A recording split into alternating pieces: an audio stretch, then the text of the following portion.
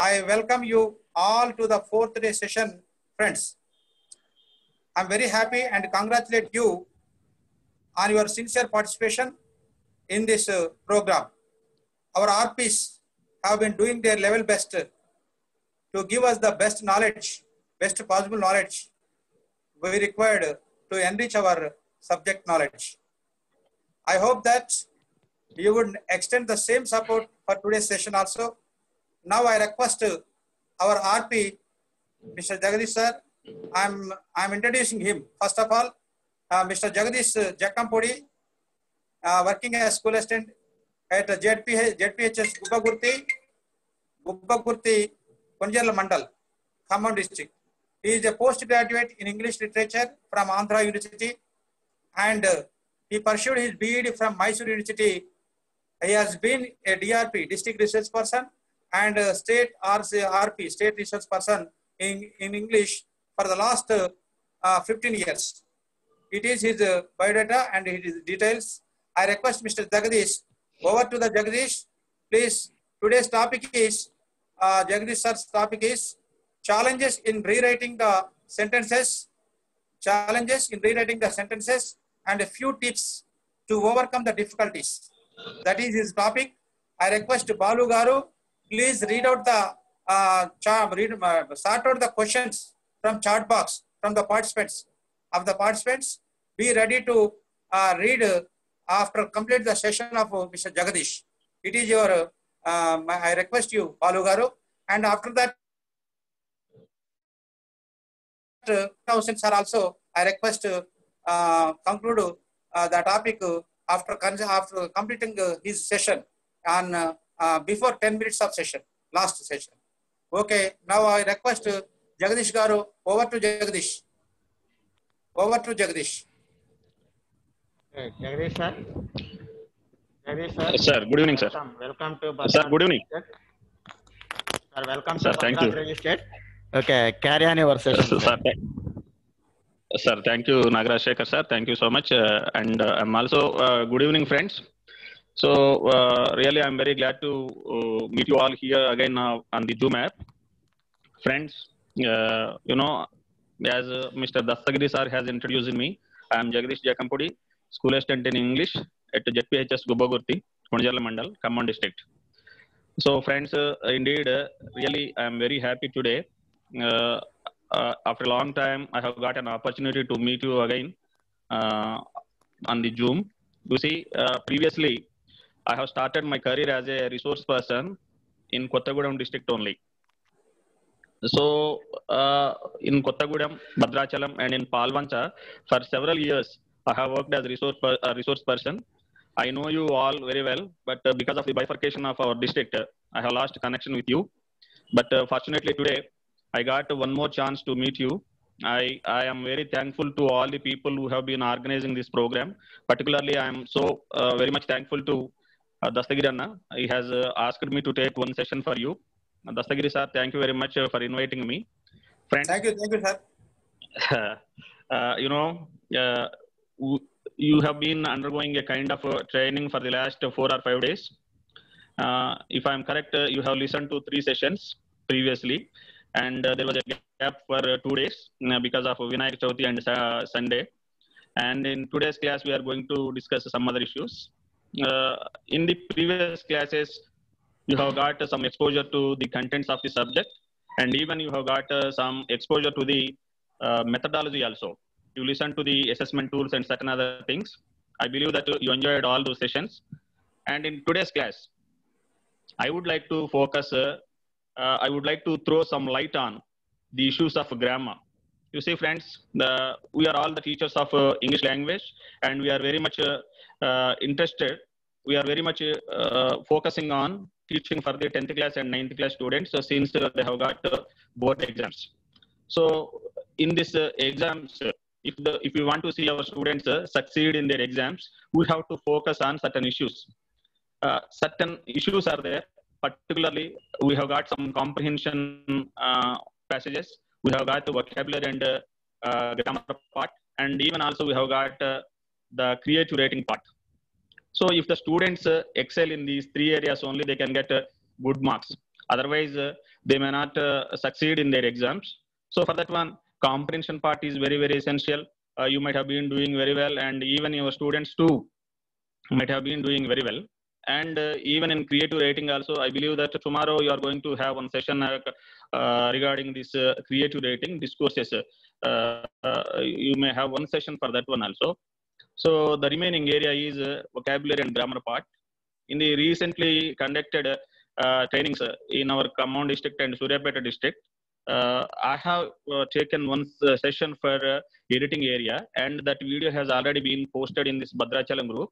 About editing, I have given a lecture uh, how well the students can secure five out of five or four at least uh, in that editing area. For that one, I have identified some 13 to 14 uh, issues so that if the issues are taken care of, definitely the students are going to secure three, four, or five mm, based on their uh, uh, what is that uh, uh, skill. They are going to get three, four, or five marks in that area. And uh, in today's, uh, as I have already taught that area, I don't feel like uh, talking about that area again. In today's class, I would like to focus on grammar again. So if it is one more area about grammar, what is that uh, important area? That is definitely we have got uh, the transformation of sentences in paper two. In paper one, students uh, struggle a bit in editing the paragraph. And for that one, I have suggested a few tips. If you like it, you may follow it or you may add your own ideas to that one and you may follow that one. And uh, in today's class, uh, I would like to throw some light on the edit- uh, what is that transformation of sentences. Friends, if you look at question paper two, section B, from question number 16 to question number 18, we have got those rewrite the sentences. The students uh, have to rewrite the sentences as uh, they are asked to rewrite. So if you look at that question paper, now, uh, the frequently th- the things that are being uh, frequently tested are voice, reported speech, simple, complex, compound sentences, question tag, and uh, degrees of comparison. These are the five areas which have already which have been frequently uh, tested in the previous question papers. So it is our responsibility to see that our students uh, do very well in these five areas. So you see, friends, uh, it's not only about securing marks. Uh, grammar has got more than that. See, if you are good at grammar, your confidence levels will be uh, high. Those who struggle very often in grammar cannot speak fluently in English uh, because of their inhibitions. They think that they go wrong here and there because of the fear that their language is uh, or wrong. So if you want to get rid of that fear, you should be well versed in grammar. Not only you, it is your responsibility to see that your students are also equally good at grammar. If they are good at grammar, they can communicate in English fluently and confidently. Grammar, command over grammar gives you uh, a lot of confidence.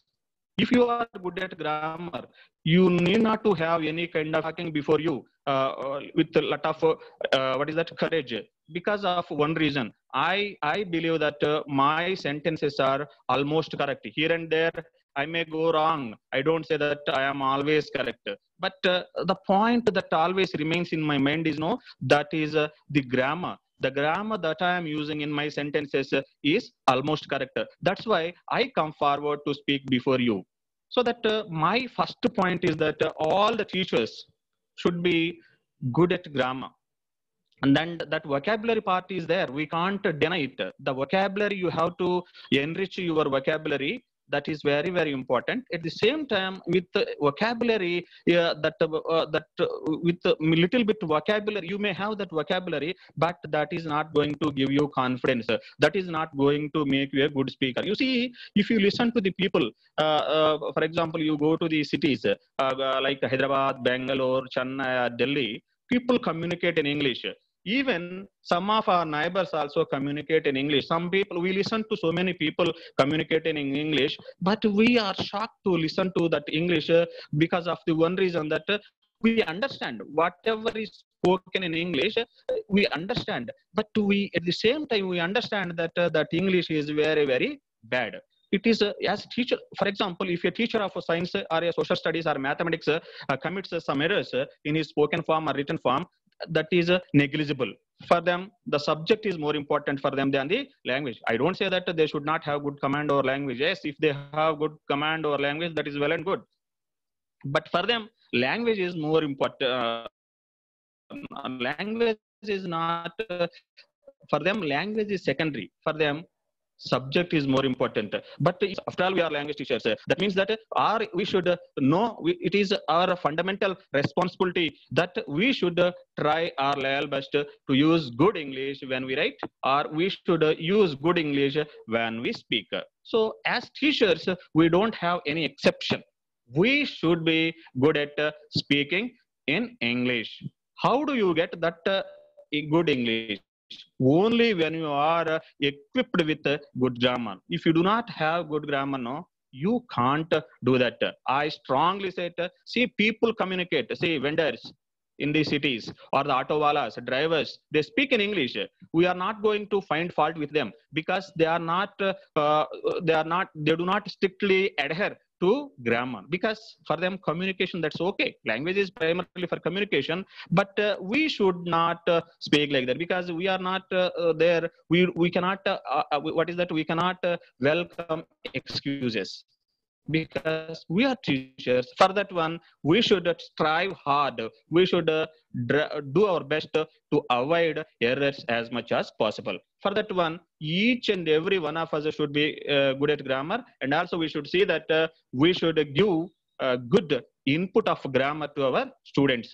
So different in this cce system we have got uh, indirect way of teaching grammar. We don't have that uh, uh, direct reference to grammar. In the previous examinations, uh, when the rewrite the sentences were given, in the bracket it used to be, uh, they used to write uh, in the brackets that rewrite the sentence into passive voice, rewrite the sentence into complex sentence, rewrite the sentence into indirect speech. Such instructions were given. But uh, in the present examination system, we are not going to see such instructions because uh, we are not directly dealing with the grammar. But though we do not directly deal with grammar, we cannot, uh, uh, uh, we cannot, what is that? We cannot, uh, what is that? Omit it.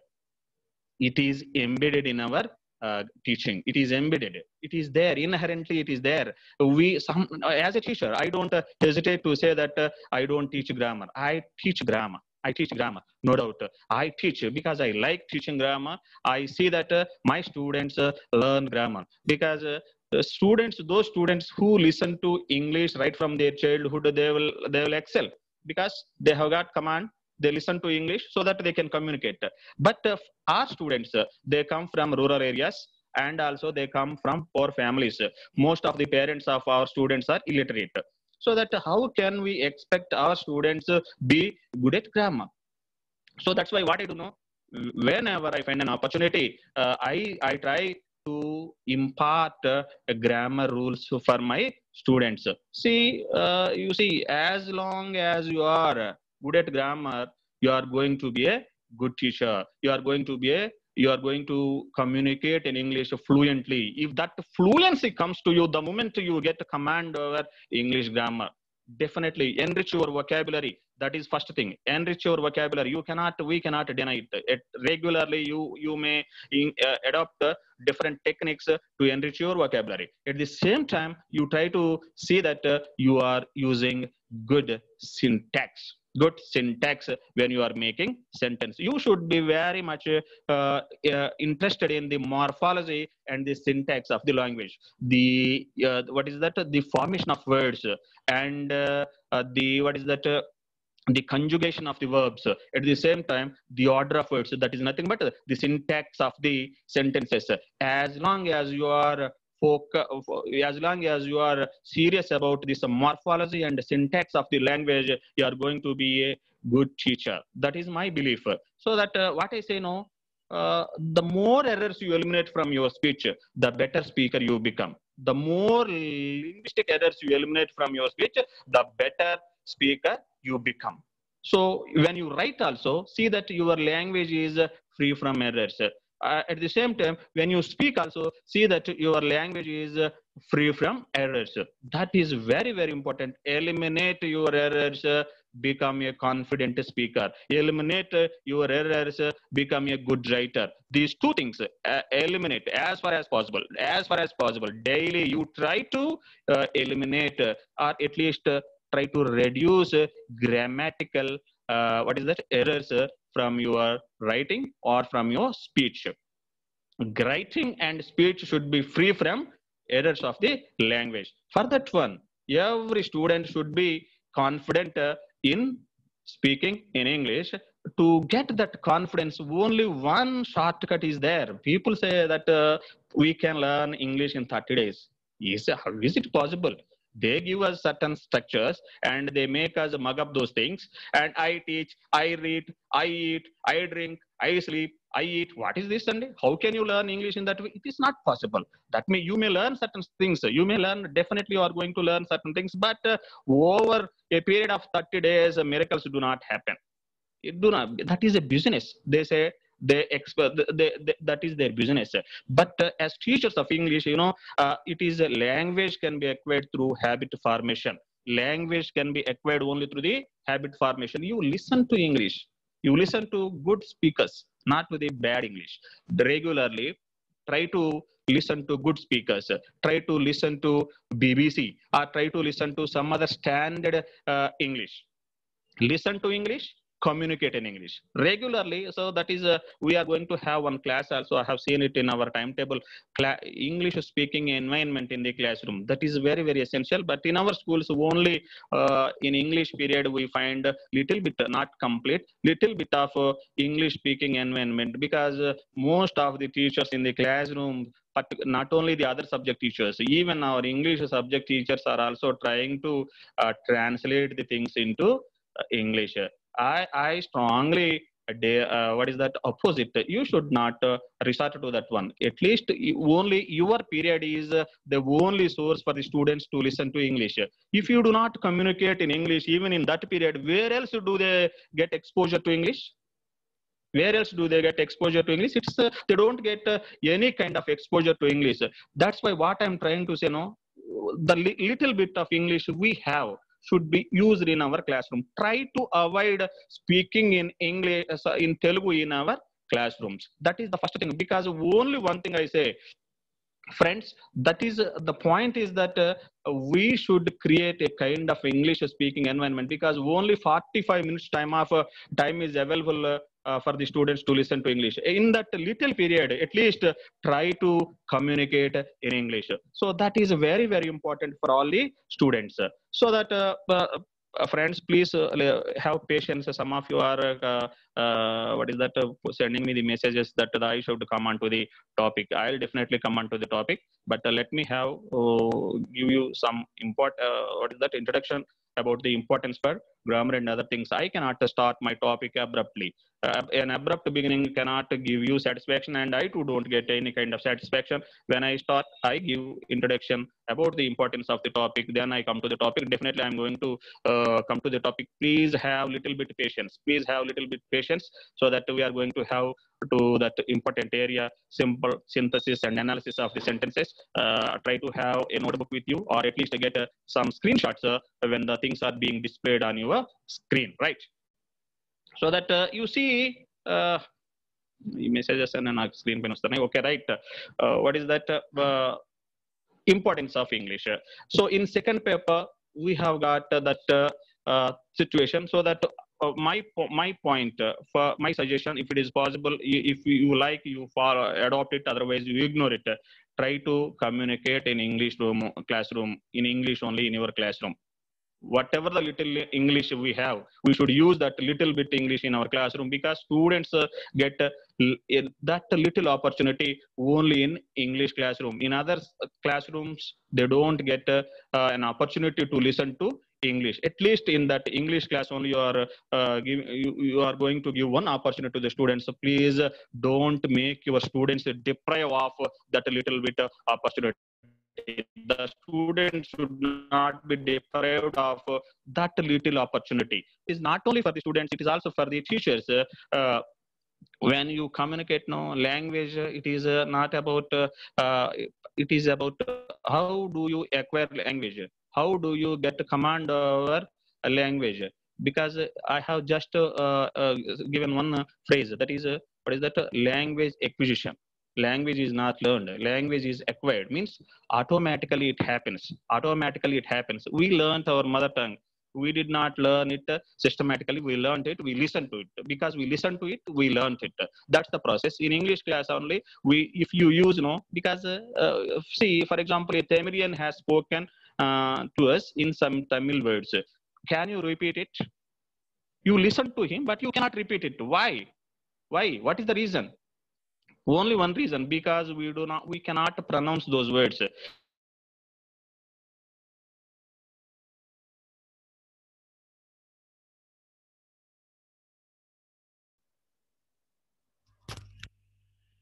Jagadish గారు audio audio gone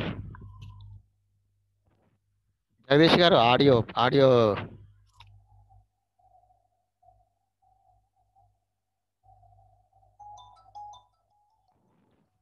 Jagadish గారు audio పోయింది ఒకసారి చూడండి.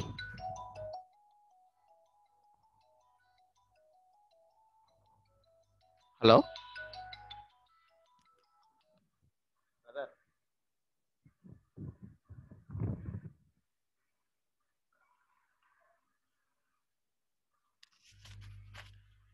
Hello? Jagadish garu? Jagadish garu?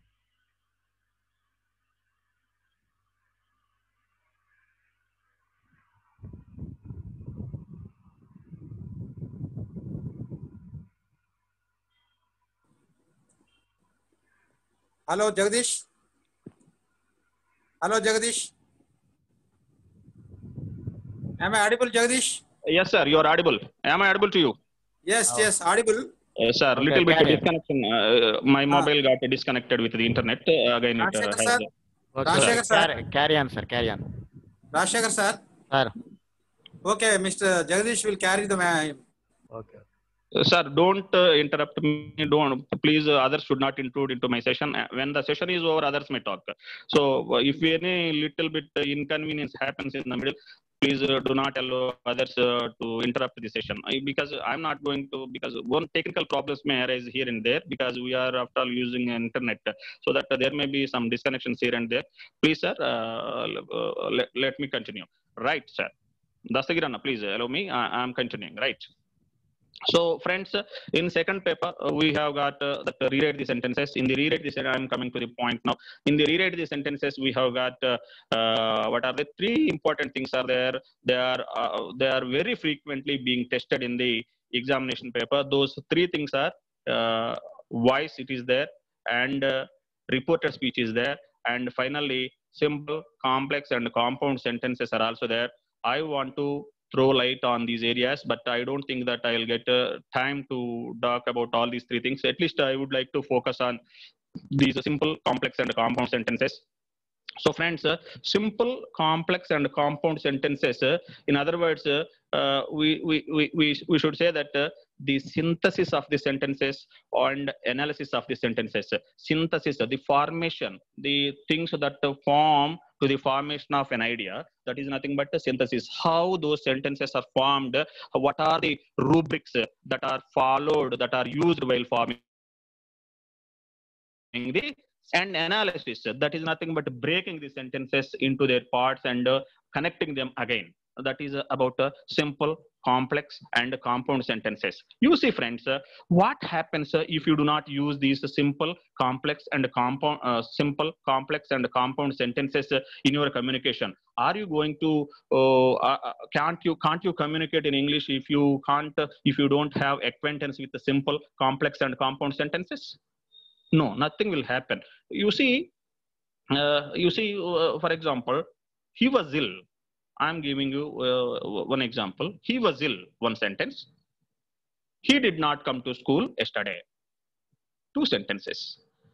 What's wrong with these two sentences? Structurally both are correct. Syntactically both are correct.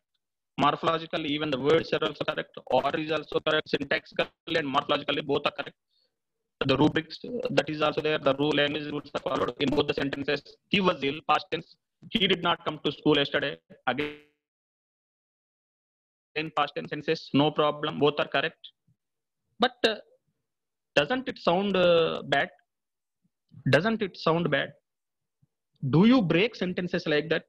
If a primary school going boy uses such sentences, it's okay. We excuse it. But as teachers of English, and when we are teaching English to 10th class students, uh, we should not uh, uh, we should not see that such things happen to our students. Those independent sentences have uh, get may have uh, some loose constructions. He was ill. Okay, he did not come to school yesterday. Sentences are okay, but they are loosely used. Loosely used. Why? Why should you use two sentences when you are talking about the same person? You are talking about the same person, but you have framed two sentences. You are talking about that same boy or girl. He was ill, and he did not come to school yesterday. But uh, you have made two sentences.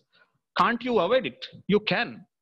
It can be avoided in three ways. Instead of using those uh, uh, independent sentences, loosely constructed sentences, uh, come out of that problem. Make your English stronger. Make your English more beautiful. More beautiful by joining them. How? Those sentences, sentences can be joined in three ways. Sentences can be joined in three ways. Friends, nothing, nothing will happen if you do not know simple sentences, complex sentences, and compound sentences. But uh, the knowledge of simple sentences, complex sentences, and compound sentences uh, makes you a strong speaker. The people who listen to you understand that you have got good command over English. The people who read your English understand that your English is good. But if you, the people see that uh, uh, he was ill, he did not come to school yesterday, uh, okay, but uh, he understands that something is uh, wrong with those sentences because that loose two sentences are unnecessarily used. And another thing is that uh, what they feel no uh, they get a kind of boredom people do not he was ill he did not come to school yesterday he went to home he went home he met a doctor. What is this repetition? Avoid the, the repetition. So complex sentences compound sentences and simple sentences making isolated sentences or joining isolated sentences into a part into a group is nothing but simple sentence. We join them into simple sentences again. Two simple sentences are joined again into one more simple sentence. That is the beauty of language. Two simple sentences are joined uh, into a complex sentences. Two simple sentences are joined into a compound sentence. Compound, complex, and compound. You see, he, he was ill. He did not come to school yesterday. But uh, this can be made a strong sentence in your writing or in your speech. You, you see, uh, I'm, I'm joining them. Due to illness, he did not come to school yesterday. See how it sounds how beautiful it is now. Due to illness, he did not come to school yesterday. A simple sentence. I have used a simple sentence. Simple sentence means it does not mean that it is very simple to write. It doesn't mean that it is easy to understand. Actually, simple sentences, a term, the term used for simple sentences seems to be very simple, but uh, I believe that it is very complicated. Simple sentences are not simple to understand simple tenses when you are joining uh, two sentences into a simple no you can combine uh, two sentences into complex sentence easily. You can combine two sentences into a compound sentence easily. But to combine two simple sentences into one more simple tense or two clauses into one more simple sentence no the difficulty starts. Title seems to be very simple but that is not simple. In fact uh, the simple sentences are very see writing separate simple sentences may be easy but joining two sentences and making a simple sentence is rather difficult. So that you see he was ill a simple sentence. He did not come to school yesterday. That is again one more simple sentence. These two simple sentences i have just joined by making due to illness he did not come to school yesterday. Friends listen to me. What did i do here what are the changes that occurred here? The second sentence has been used again. The second sentence has been used again without any change. See, he was ill. That is the sentence. He did not come to school yesterday. The second part, he did not come to school yesterday. The first part is he was ill. So I played with the first one. and I did not touch the second one. The second sentence uh, is retained. The exact part has been used again. But what else did I do here? In the first sentence and in the second sentence, the subject is he. And uh, in the first sentence, he was ill. That uh, verb is was. In the second sentence, the verb is did not come. Did not come. That is the verb. So what did I do? I avoided the repetition of the subject. And uh, the ill, the word adjective, ill, has been changed into a noun form. So, in other words, uh, what I want to try to say now, I'm going to put uh, a few slides for you to understand this concept uh, a, a bit easier. Uh, what, is that? The, the first part, he was ill, has been changed into a phrase. A phrase. What is a phrase? What is a phrase? A phrase is nothing but a group of words. A phrase is nothing but a group of words which expresses some meaning, but not complete meaning. It is unlike a class. It is unlike a class. A class, you see, has got a subject, and at the same time, a class has a predicate too. But in a phrase, you try to see when you are using a phrase, we don't use the subjects, we don't use the verbs. That is due to illness. In this one, the subject is absent, even the verb is also absent. So I have made the first sentence into a phrase. So one point, uh, friends, when you are joining two simple sentences into, when you are joining two sentences and making them or converting them into one more simple sentence, only one thing you have to do. Don't use the subject, don't use the verb of the first part. Instead, adjective form or adverb form, make that adjective or adverb form or convert that adjective or adverb into a noun. The noun form of ill is illness. And uh, something has happened. One reason is there in that one. To introduce a reason, the phrase we use is in English uh, to introduce reasons. The phrase generally we use is due to. Due to ill health, due to fever, I am unable to come to school and man leave letter. Due to illness. Due to is due to or owing to. These are the phrases generally we use uh, to introduce reasons. So this is a simple sentence. Due to illness, he did not come to school yesterday. Instead of you use only one sentence, that is uh, a simple sentence. Now you see this can be used in another way also. In another way as also. What is that? See, he was ill. He did not come to school yesterday. Friends, please have some patience. I hope that uh, you- I hope that you listen to me attentively because it is going to be very important thing for you. Please listen to me. I am trying to finish it, but uh, I don't want to just give you the rules and uh, uh, end the topic simply. Please listen to me so that you may get some kind of interest and you may you may have got good command over this area. But I am trying to give the knowledge which I have so that it may be useful for you. Please, friend, please have a little bit patience. Uh, listen to me because if it is a classroom, I can write it on the blackboard uh, and we can discuss those things. But uh, since it is a mobile network, no, there are certain what is that? Certain problems for me. I cannot. I have to cope up with those things. So please listen to me. Right. Uh, so point, uh, friends. uh, what is that? Due to illness, he did not come to school yesterday. That sounds good. Very beautiful sentence. And this is called a simple sentence. Again, uh, one more sentence. What is the actual two sentences I have given? He was ill. He did not come to school yesterday. Loosely constructed two sentences. These two can be joined uh, again into another form. First thing, due to illness, he did not come to school yesterday. That is called a simple sentence. Now, those two sentences are going to be joined into a complex sentence. Complex sentence means I'm going to show you the slides. What is a complex sentence? Complex sentence is, you know, a combination of one main class with uh, one or more subclasses. One or more subclasses. Uh, so again, I have to discuss uh, uh, a clause. First, you should know uh, what exactly a class is. Class, you know, friends, a class is a group of words. Class is a group of words with a subject and predicate. With a subject and predicate. Subject is nothing but again, I say subject is nothing but a person, place. Subject does not mean that it is English. Uh, many of the many a times uh, children think that subject is English, social like that. They think they get certain misconceptions. We have to avoid it.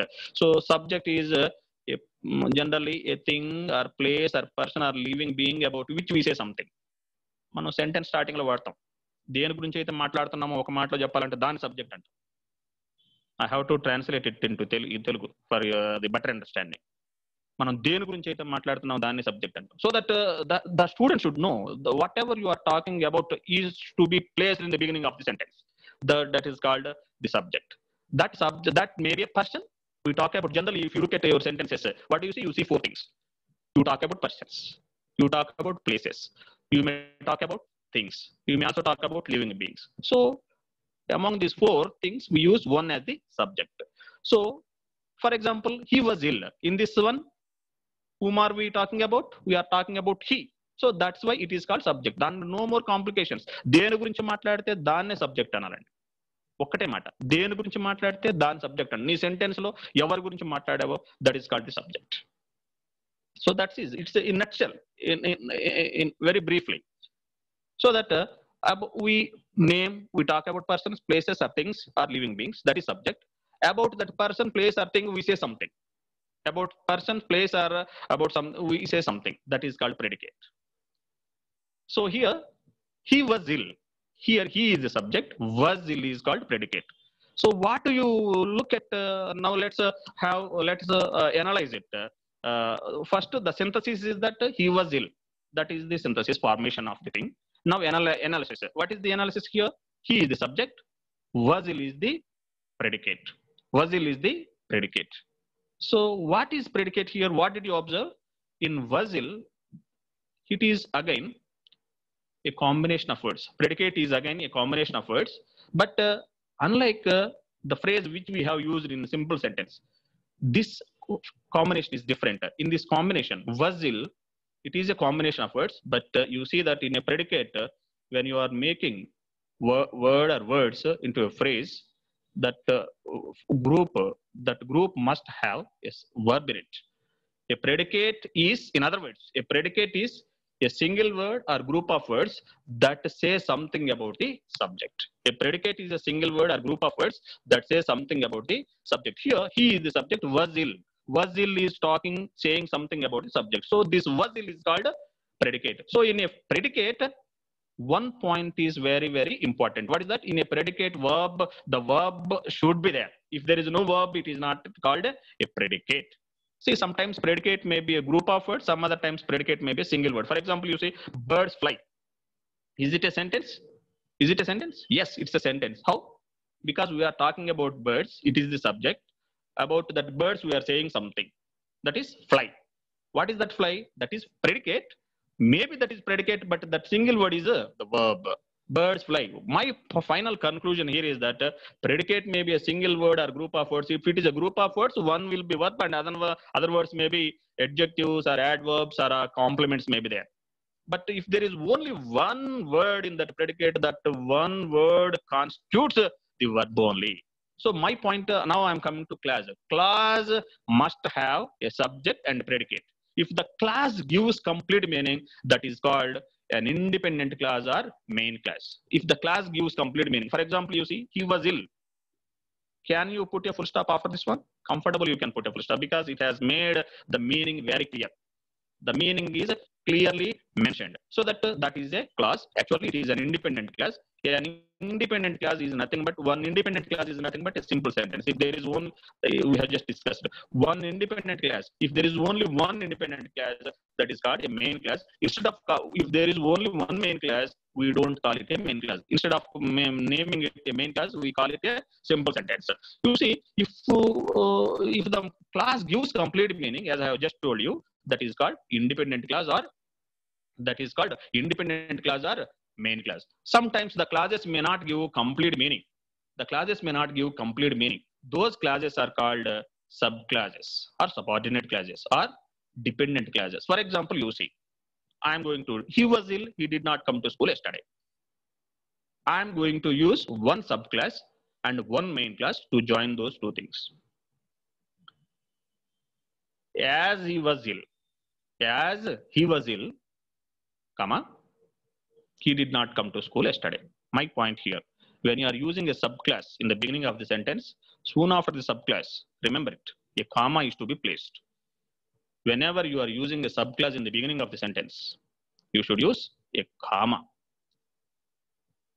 He did not come to school as he was ill. Here, no need to put comma after the first class because in the beginning of the sentence, we have used the main class. My point here is that when you start your sentence uh, with a subclass, put a comma after the subclass and write the main class. If you write two main classes, no, no need to put comma. But when you write a subclass, what is a subclass? A class which has got a class is nothing but a subject and predicate should be there. If that class does not give complete meaning, it is called a subordinate class. After the subordinate class, when you are making sentences, if you use the subordinate class in the beginning of the sentence, put comma after that one. As he was ill. Is it a class? Yes, it's a class. How? We have given the uh, what is that uh, the components of the class. What are they? A class must have a subject and predicate. What is the subject? Subject is nothing but a person, place, or thing about which we say something. Uh, so whom are we talking about here? We are talking about he. So as he was ill, here the subject is he. So the subject is there. About that he, we are making some words. We are using some words. What is that one? Was ill. But uh, before that, uh, what is that? As. Because of that uh, quad subordinate conjunction, the, send, the class has lost complete meaning. As he was ill. In Telugu అనారోగ్యంగా అతను ఉండుట చేత can you put a full stop after this one you can't because it is making sense but not complete sense the class is making some sense, but it is not making complete sense. When you are using a class, if the class if the class does not give complete meaning, it is called a subordinate class. A subordinate class is nothing. It is a, a bit different from the main class.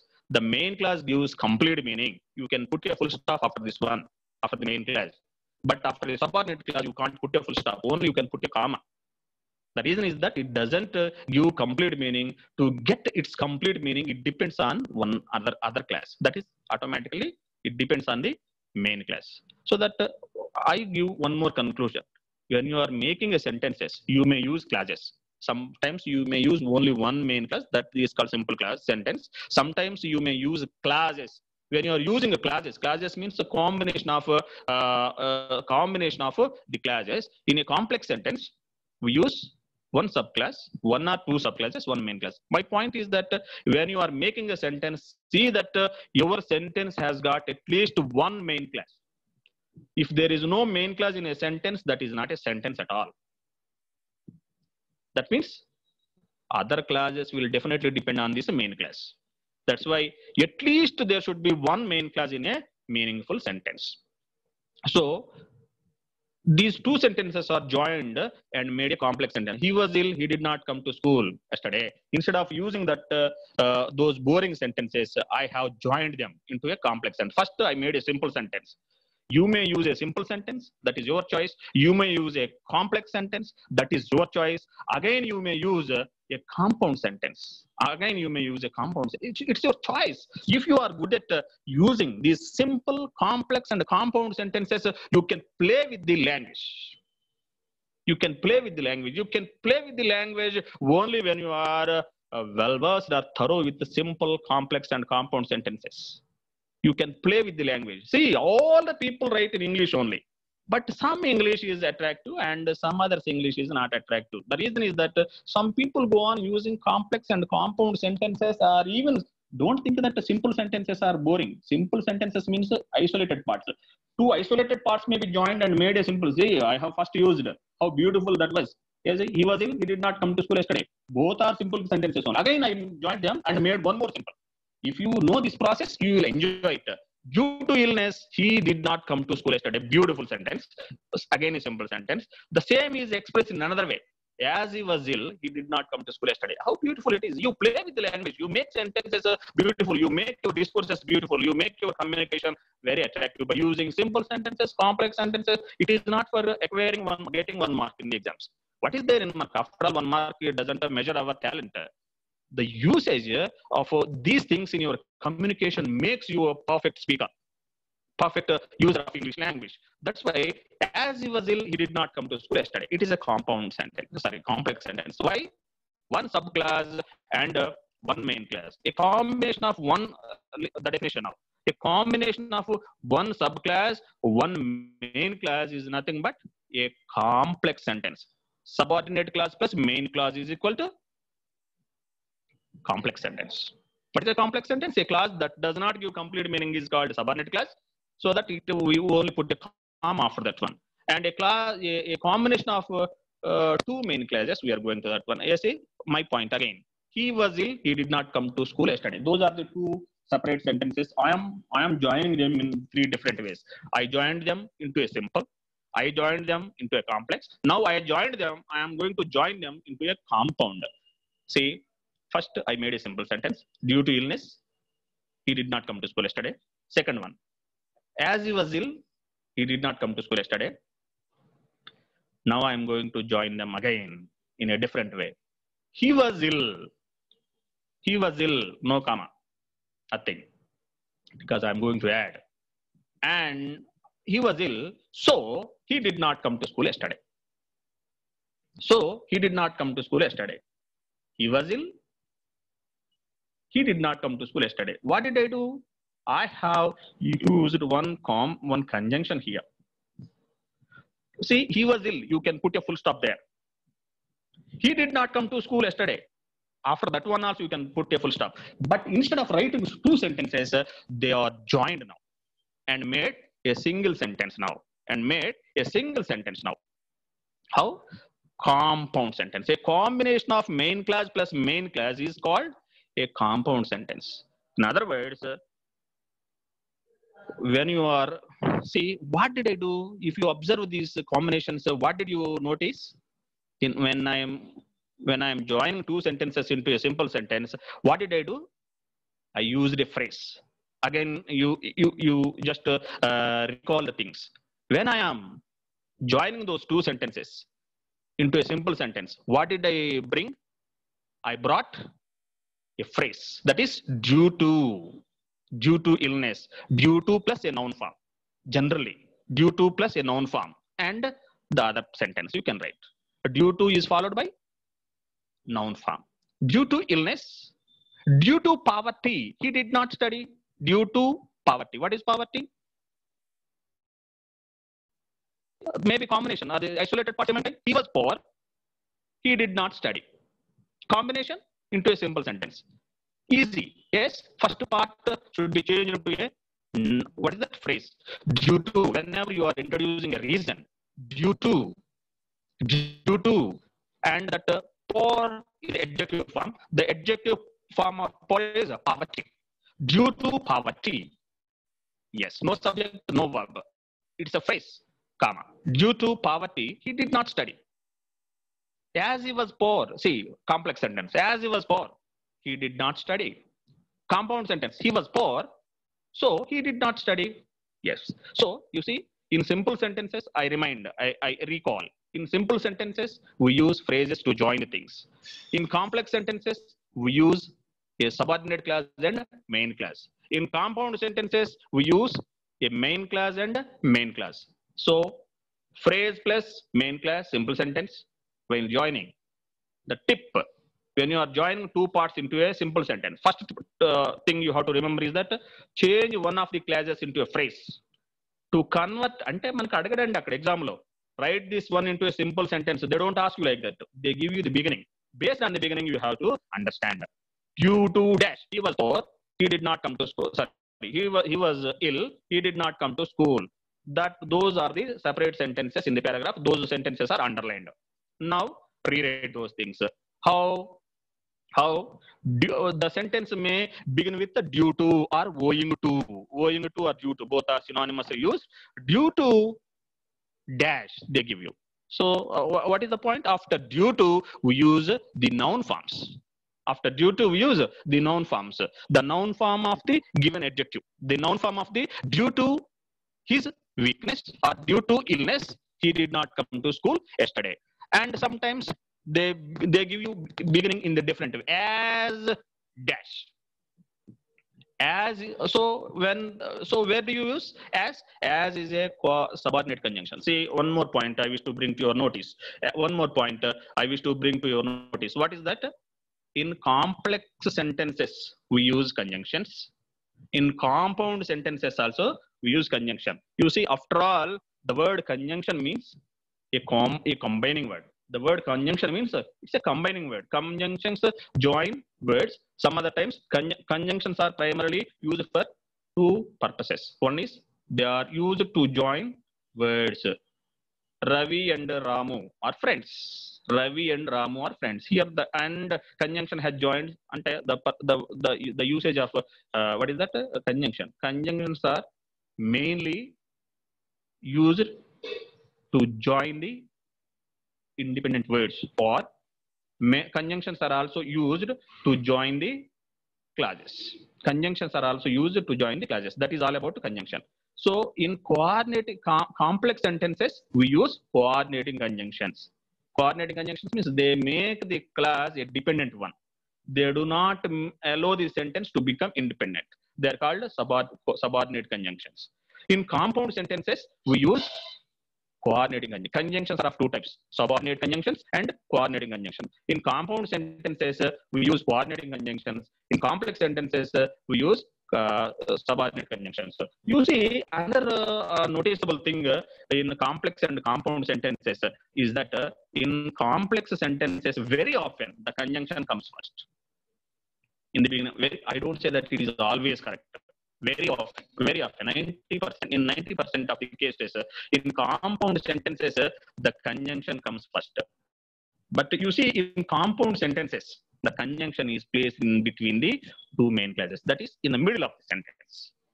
In the middle of the sentence. That is uh, the thing you have to uh, observe while reading the sentence. One more thing you have to be careful about. What is that? Uh, you see, uh, one thing, he was ill he did not come to school yesterday. He was poor, he did not study. Uh, he was ill, he did not study. Sorry, he was poor, he did not study. How did I join them as complex sentence? Due uh, simple sentence due to poverty, he did not study. Into compound sentence, complex sentence, as he was poor, he did not study. See, one more point that you have to make your students aware of is that uh, we have to use the same tense that is given in the underlined sentences. See, he was ill, past tense. He did not come to school, past tense. When you are joining them into a separate one, into a new class, new sentence, use uh, the same tense. For example, he was ill, he did not come to school yesterday. Those are the independent sentences. In sentences, if you join them into a new sentence like this, he is ill, uh, so he doesn't come to school. He is ill, so he doesn't come to school. Is it correct? Structurally okay, he is ill, so he doesn't come to school. Meaningfully also, they are syntactically they're okay. But what are the given sentences? What is the tense used in the given sentences, and what is the tense you are using in uh, while rewriting the sentence? The most important thing, even the good clever students uh, that they go wrong uh, uh, while uh, using the sentence again they they should retain the tense of the given sentences most important point very often children forget uh, using the same tense again in the rewriting the sentences. When you are whatever the tense is given in the underlined parts uh, the same tense is to be retained when you are writing the sentences again. Don't forget. You should be you should uh, bring it uh, to your uh, to the notice of children. It is very very important. Answer may be correct. What is wrong here uh, see as he is ill he doesn't come to school yesterday. Or other mistake they commit as he is ill. Because children very frequently they use am is are. They don't know what exactly they are. They don't know what exactly was were. Simply they use. As he is ill he did not come to school yesterday. Again a poor construction. In the first part present tense. And in the second part past tense. As he is ill. As he is ill means now he is ill. He did not come to school yesterday. He did not come to school yesterday. Uh, Ninna. ఈ రోజు అనారోగ్యంగా ఉంటే నిన్న రాకపోవటం ఏంటి చూస్తే బాగానే అనిపిస్తుంది చూసేటోడికి వినేటోడికి but see completely wrong in the first part you have used present tense and in the second part you have used past tense So when you are, that is most important agreement we call it. When you are making a single sentence, see that uh, both the sentences, uh, uh, both the parts, uh, you use the same tense. That is very important. When you are joining other parts, the uh, the tense of the other part should be retained. you should not use, you should not bring a new tense into usage. That is a very important. Uh, just uh, give me a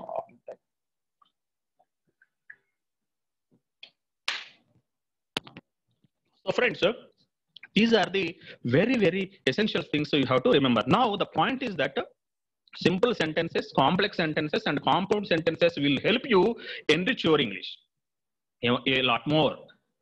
The moment uh, you learn these things, uh, you become good speaker of English language. That is the very important. See, so I have given some uh, points here. When you are joining two sentences, uh, first point you have to remember, when you are joining two sentences into a simple sentence, we use a phrase plus a, a see simple sentence again if you like you may note down it when you are joining two sentences into a simple sentence the first thing you have to do is phrase plus main class. Phrase plus main class. Phrase what is the phrase? In these phrases we don't use verbs we don't use subjects. We use very frequently uh, noun forms. So a phrase plus main class. When you are joining two classes or two separate parts into a simple sentence. In a simple sentence, the definition is that only one main class should be there. So as per that definition, so what is that? You should use one, say point number one, phrase plus main class, simple sentence. When when you are ask you are when you are making your students rewrite the sentences, see that? One phrase plus one main class, simple sentence. Complex sentence, point number two. Subclass plus main class. Subclass plus main class. That is complex sentence. Compound sentence. Main class plus main class these are the three important areas. Uh, uh, with, these three things your english becomes rich. At the same time your students too will get one mark. Complex uh, what is again I, I, I recall complex sentence subclass plus main class. What is a subclass? A class with a subject and predicate. Again you have to remember that one.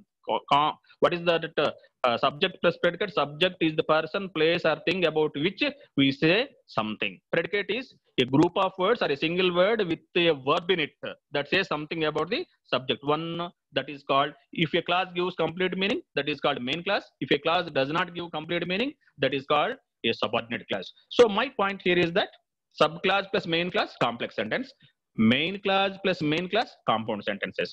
So in complex sentence in simple sentences we we use phrases very frequently to convert the other parts into a simple sentence. In compound complex sentence we use one subclass and main class. In compound sentence main class plus main class. In complex sentences coordinating conjunctions are used. Very often the conjunctions are placed in the beginning of the sentences very often you see whenever if your sentence begins with because in the examination it is uh, going to be rather easy because uh, they they ask you they don't ask you to rewrite the sentence into a complex one or compound one or into passive voice or into indirect speech or uh, write the superlative degree or compare they don't give you instructions. They simply begin the they simply give the beginning of the sentence. So so based on the beginning of the sentence you can understand the structure. For for example your sentence begins with uh, as because uh, since Uh, uh, when such sentences with with such a class uh, what is that? Such uh, subordinating conjunctions they are going to be complex sentences. So first part will be a subordinate class the second part will be a main class. See another point punctuation mark. After the subordinate class we have to use a if you begin your sentence with a subordinate class soon after the subordinate class put a comma. Don't forget. If you begin your sentence with the main class no need to put a comma after the main class. Only after a subclass try to put a comma after the first subordinate class. After that main class we are going to put a full stop right? So so these are the three things. These things will definitely help you to enrich your english. Friends now i am going to uh, share a few things for you. So the uh, things uh, oh a simple sentence complex sentence compound sentence all those things. Again i'm going to explain you. See i have lost my power here just uh, be on the line. Uh, lost my power uh, electricity. Okay right right. My friends uh, oh, uh, shall i share my screen? Yes uh, sir am i audible? Uh, that nagaraj Shekhar, sir am i audible? Yeah, you can you can share. okay. Okay okay right. I'm sharing my screen. Uh, look into it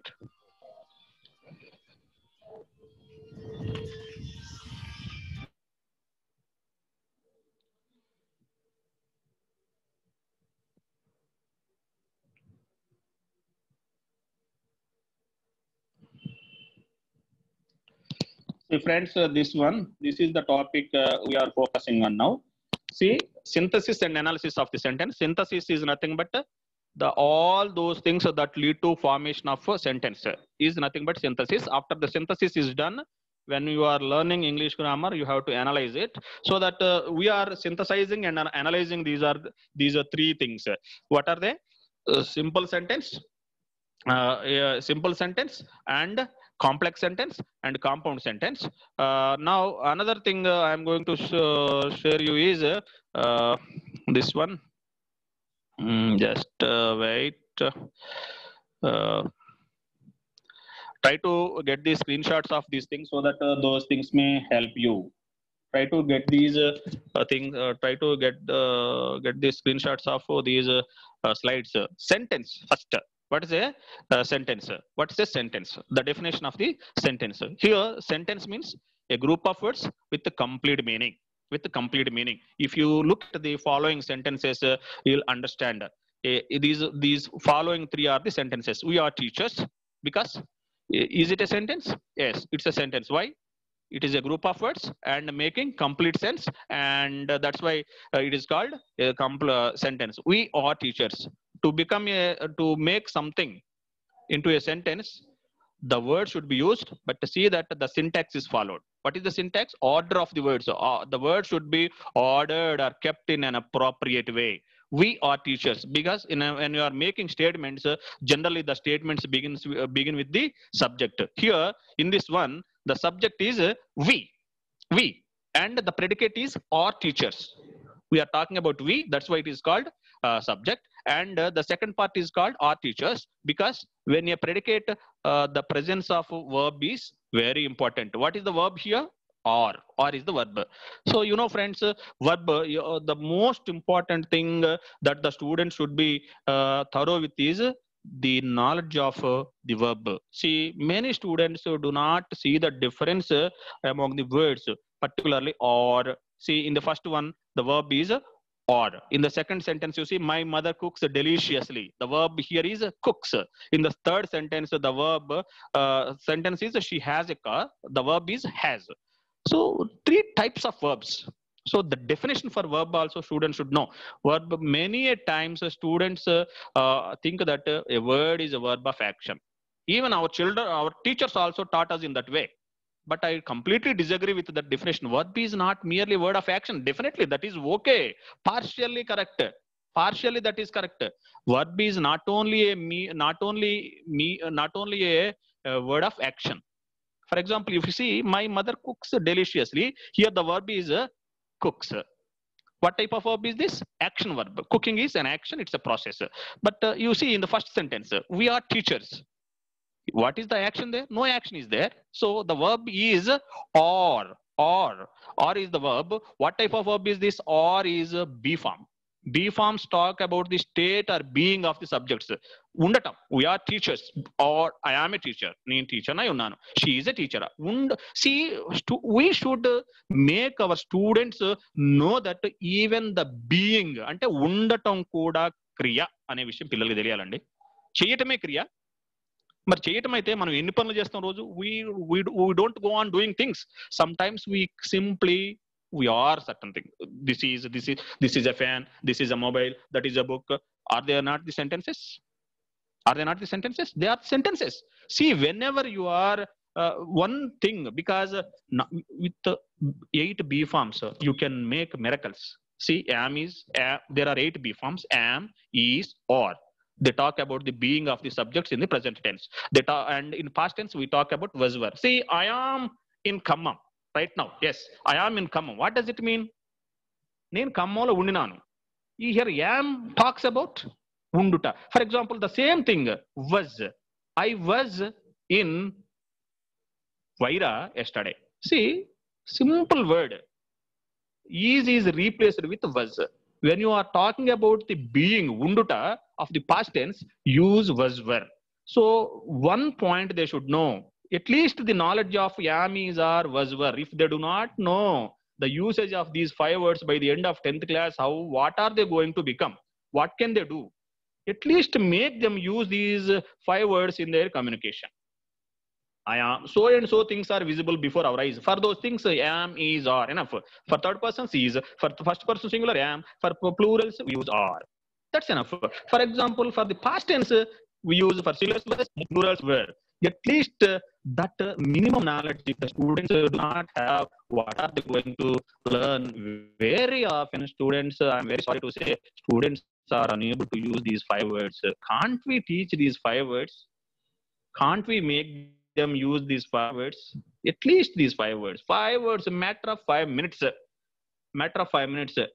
అరే అయిపోయిన విషయాలు ఉండటానికి వజువర్ వాడండ్రా ఇప్పుడు ఉన్న విషయాలను ఉండటానికి క్యామీజ్ are వాడండ్రా బాబోయ్ అరే నువ్వు నిన్న అక్కడ ఇంటి దగ్గర ఉన్నావురా ఐ వాజ్ ఎట్ హోమ్ అనరా ఇప్పుడు స్కూల్లో ఉన్నావురా I am at school I am in school అనరా ఆ, నిన్న నేను లాస్ట్ ఇయర్ సిక్స్త్ క్లాస్లో ఉన్నటానికి I was in sixth class అనరా ఇప్పుడు సెవెంత్లో ఉన్నటానికి I am in seventh class అనరా I am in the present status was in the past status. One minute ago, I was in the office. One minute ago, I was not am. One minute ago, if you, what is there? Simple five words. Simple five words will create miracles in the classroom. Five words only. The learning starts with these five words. Friends, please uh, make your students at least use these five words. At least five words. అస్సలు ఎంత దరిద్రంగా అంటే చాలా మందికి యామ్కి ఈజ్కి ఆర్కి వజ్కి వరకు difference తెలియకుండా అసలు yam అంటే ఇంద్ర బాబు అని అడుగు నోరు అట్నే తెరిచి చూస్తున్నారు చాలా చోట్ల ఏమంటే తెలియకుండా ఏమో ఏమో నాకేం తెలుసు ఏమో ఏమంటే ఏమో అన్న కాడికి వచ్చే పరిస్థితి What is this? I Am at least means unduta. Is means unduta. Are means unduta. Unduta. Anedi ipudunduta. Was were undenu. These five words. I am. She is. We are. They are. With plurals like that. One class enough for making the students use these five words. So these are the verbs. Five be forms of the verbs. And the second one is the vast area. Is action verbs. So many verbs are there. So many verbs for being am is are was were be been being. If the students do not know it be been being okay i don't say that they should not know. Minimum knowledge is am is are was అండి. నేనైతే ఎవరినన్నా ఎక్కడికన్నా పోయి నన్ను ఎవరన్నా పిల్లల్ని test చేయండి అంటే నేనేమో active voice passive voice I'm not going to ask those students to convert those sentence into compound complex at least I test these things సరే ఇది నేను ఇక్కడ ఉన్నాను అంటానికి ఇంగ్లీష్లో ఏమంటావు చెప్పరా అంట నేనైతే. వాడు ఎట్లా చూసి వాట్ ఈజ్ ఐఆమ్ టీచర్ అంటే ఏంట్రా I am in class I was at home ఈ రెండింటి డిఫరెన్స్ ఏంట్రా ఈ రెండిటి at least those two things. Was where am is are. ఐదే వర్డ్స్ అండి. ఈ ఐదు వర్డ్స్ తోటి కొన్ని విషయం నేర్పిస్తే మనకి కొంచెం పిల్లలకి కొంత కొద్దిగా కొంచెంలో కొంచెం గుడ్డి కంటే మెల్లగా కొంత యూస్ఫుల్గా ఉంటుంది. Try to use make your students use these five words at least five words. Am is are was were. Five words. ఆ డిఫరెన్స్ తెలియటం పాస్ట్కి ప్రజెంట్కి. క్రియేట్స్ మెరకల్స్ ఇట్ గివ్స్ ఇది knowledge of these five words gives us so much of confidence not for us for students they give them కాలేజ్కి వెళ్ళిన తర్వాత కూడా యామీజార్ వజ్వర్ అంటే ఎవడరు మీ టీచర్ అంట లేదా కాలేజ్ లెక్చర్స్ మన ప్రైమరీ స్కూల్ వాళ్ళు అంటున్నా వాళ్ళు మన అంటున్నారు so that at least this knowledge yam is are was were please make if your students are using those things very good but many in many places students are unable to see the difference among these five words so that one verb definition is being అంటే ఉండటం కూడా క్రియ next one mother cooks డెలిషియస్లీ here cooks is the verb so action verbs she has a car it is not action it is neither an action neither B what is this has is possession owning so the definition for a verb at least they should know verbs are three types be forms have forms and do forms. Be forms are am is are was were have forms has have had. And do forms they are so many all the doing verbs action verbs are all the do forms. So these are three categories of the verb a sentence. When you are making a sentence we generally use a subject. Soon after that subject we use be forms or have forms or do forms. So then the sentence will be at least partially correct. Partially i don't say that the sentences will be 100% correct. If your students english to be correct 100% of uh, partially see that they begin their sentences with subjects. Soon after the subject, you see that they put the verbs. If they are talking about be forms, am is if they are talking about uh, actions use them let them use action verbs if they are talking about owning కలిగి ఉండటం i have a car i have a bike she has a pen she has a long hair like that she can use they can use these three categories verbs should be categorized then they can understand so the definition for verb is a verb is a word of action being and uh, owning that is my definition a verb is a word of being doing owning a verb is a word of i repeat a verb is a word of being unduta a verb is a word of doing చేయుట a verb is a word of owning కలిగి ఉంట these uh, the words that talk about all these things are called verbs so when you are making a sentence your sentence should uh, generally begin with, uh, generally a group of words you may get some of you some of you may get uh, doubts uh, sentence uh, is it uh, necessary that a sentence must have group of words sometimes a group of words may not be there read sit they are sentences but they are imperative sentences. In imperative sentences we don't see the subject. It does not mean that the subject is absent. The subjects are there. Go means you go. Read means you read. Sit means you sit. But as the subject is understood we don't put we don't mention the subject it does not mean that the subject is absent. The subjects are always present in uh, imperative sentences but since they are understood we wrote we don't use those uh, subjects in imperative sentences. That's why the definition is again the same one. Subject a sentence is a group of words not a single word. Sentence is a group in imperative sentences sometimes we don't not sometimes in imperative sentences we don't use subject. It doesn't mean that the subject is absent. Physically it is not there but it is there that is the definition. So that subjects sentences begin with the subjects and they uh, they are followed by verbs. And this is about uh, the definition uh, for the mm, subject. I am going to share one more thing for you. That is mm, i don't have computer to operate all these things uh, quickly. So let's uh, uh, have a bit patience. So what is this? A simple sentence. Now the things we have discussed are being kept in the form of uh, slides. Simple sentence. So when you are making sentences we make three forms of sentences. See friends first we make sentences but sentences are made into made in three ways. We make three simple sentences we make complex sentences even we make compound sentence. First you should understand what exactly a simple sentence is. The definition is given. You can get it you can get these things you can get it as a screenshot. Take the screenshots of these things so they may be useful for you so simple sentence what is a simple sentence? It is a combination of just a single subject and a predicate. Single subject and predicate example is given. What is that single subject? Only one subject should be there and one predicate should be there. If there is only easily you can identify a simple sentence. We find only one subject and we find only one predicate. What is a subject subject is a word or words uh, uh, in generally the subjects are the persons places are things are living beings. So here if you see it is person we persons we and the predicate is or friends. Or friends is it a predicate? 100% it is a predicate. Why? A predicate may be a single word or group of words. Uh, that is the definition if it is a group of words uh, maybe a single word or group of words verb should be present. Verb should be present. Here the verb is or. What is friends? Complement. We are friends. So or is the verb friends is the complement or friends so our friends is the predicate and we is the subject. One subject and one predicate. Single subject single predicate is a simple sentence and it has given complete meaning so that i have kept a full stop after this one. So it is a simple sentence. Uh, that is the definition for a simple sentence. Now let us uh, go let us uh, see what exactly a complex sentence is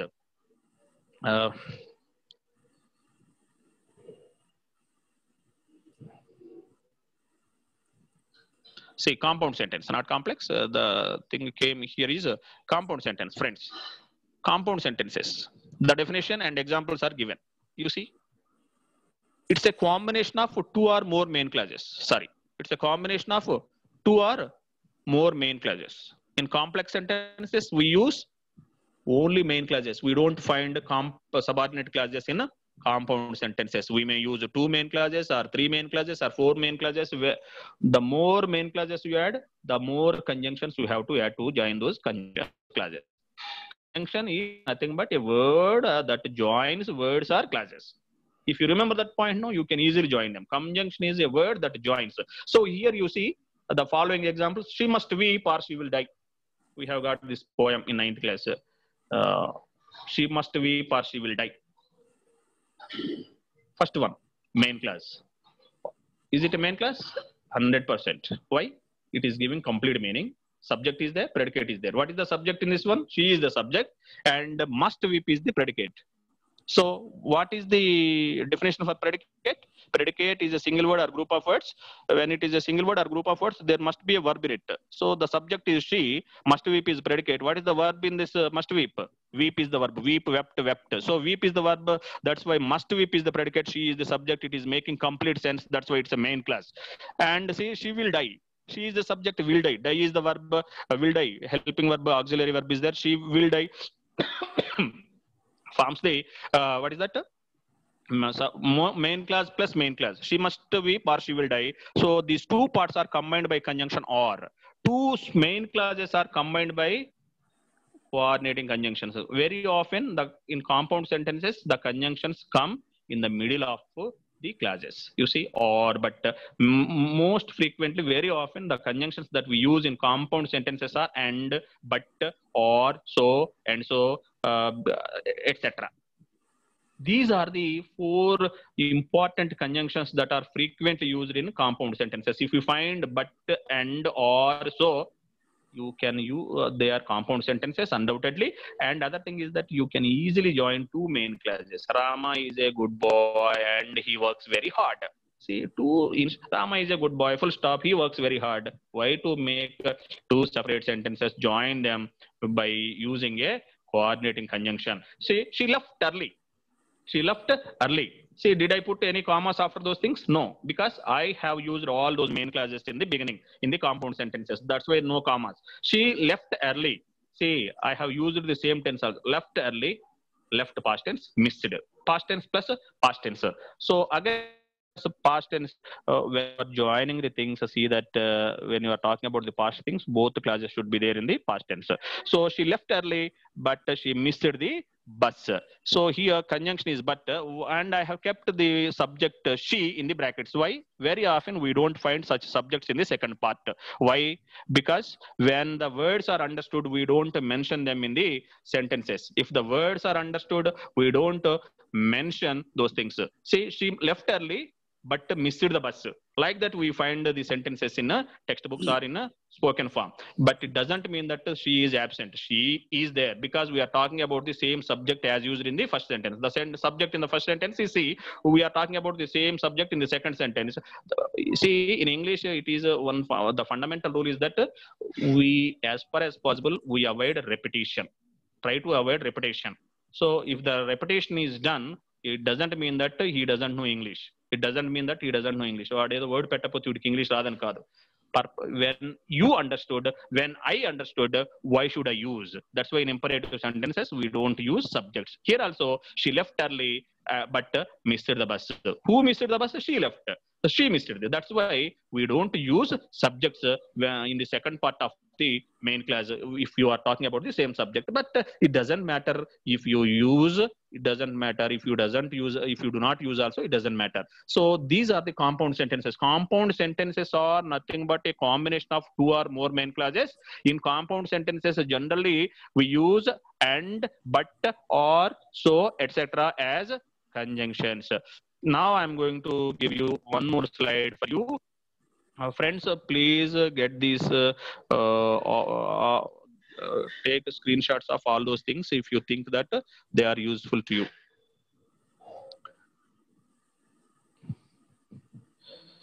See, now complex sentences, compound, simple sentences are over, compound sentences are over, now complex sentences. I have used my mobile to write all those things, uh, taking so many pains, so that uh, my wish is that you will get these things uh, into your mobiles. So, uh, say complex sentence. Now the definition. It is a combination of one main class with one or more subclasses. See, I have already told you one point. What is that? Whenever you are you making a sentence, one main class is mandatory. If there is no main class, your sentence uh, does not get any meaning. One main class is mandatory. Compulsorily, you should use one main class. You see, it's a combination of one or main classes with one or more subclasses. See here, if you listen to me, you will understand the concept. See here, if you listen to me, is it a class? Yes. Why? Because we have got the subject here. Whom are we talking about? We are talking about you. That's why it is called subject. And is there any predicate here? Yes, it is predicate. Predicate is present. What is the predicate? Listen to me. Listen to me is the predicate. Listen to me. So listen is the verb. Listen is generally followed by preposition to. It is compulsory. Even in editing also it helps you. Listen is always followed by to. If you listen to me, but uh, it has got the subject and predicate, but it is not giving complete meaning. It is uh, independent. If you listen to me, you cannot put a full. No, like that. Can you put a full stop uh, making sense but not complete sense that's why it is called a subordinate clause and uh, you see as i have told you very often very often not always very often uh, we put we use comp- in complex sentences we use subordinate clauses in the beginning. Sometimes even you can use subordinate clauses in the second part also as in the second example. You see uh, whenever you are using mm, first uh, soon after the main clause subordinate clause you have to put a comma. That's why i have kept a comma. You will understand the concept. If you listen to me you will understand the concept. This in uh, this uh, this this example will also help you in uh, what is that? If clauses also. All the if clauses are all the if clauses are as per my definition. All the if clauses are complex sentences. We have four if clauses. All those four if clauses are subordinate clauses. Because if is a subordinate conjunction all the first two clauses are dependent. So that's why in other words all the if clauses or complex sentences only undoubtedly. So if you listen to me you will understand the concept. The first one is a subordinate clause and the second one is a main clause a combination of one main clause with uh, one more one or more subclauses is nothing but complex sentence the definition is given. And the second one you see he failed in the exam though he wrote well. You can write Jagdish, sir. Excuse me, Jagdish. sir. Now the time is 6:30 p.m. How much time do you want? More. uh, I, uh, it's your choice, sir. If you ask me to Take- end this take- session, Take uh, 10 you- minutes. Take 10 minutes to complete. okay, okay, sir, right. After So you say- interaction, interaction session will be started. Okay, okay, After okay, Anna. Anna, okay, right. I'll uh, end the session in 10 minutes. Uh, right. He failed in the exam, though he wrote well. But it can be ri- written, uh, it can be rewritten vice versa also. Uh, what is that? Though he wrote well, he failed in the exam. That is also correct.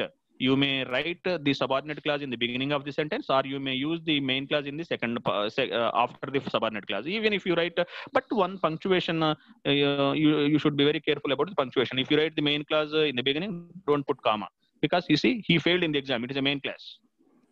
You can put a full stop after that one. Though he wrote well. See, be careful about the usage of grammar. Failed wrote, past tense plus past tense. Failed wrote. He failed in the exam, though he writes well, writing well. Like that, do you write? It is wrong. When you are talking about the past things, when you are by joining conjunctions, use all that past tense. When you are talking about present tense, when you with the conjunctions, use all that present tense. That is important.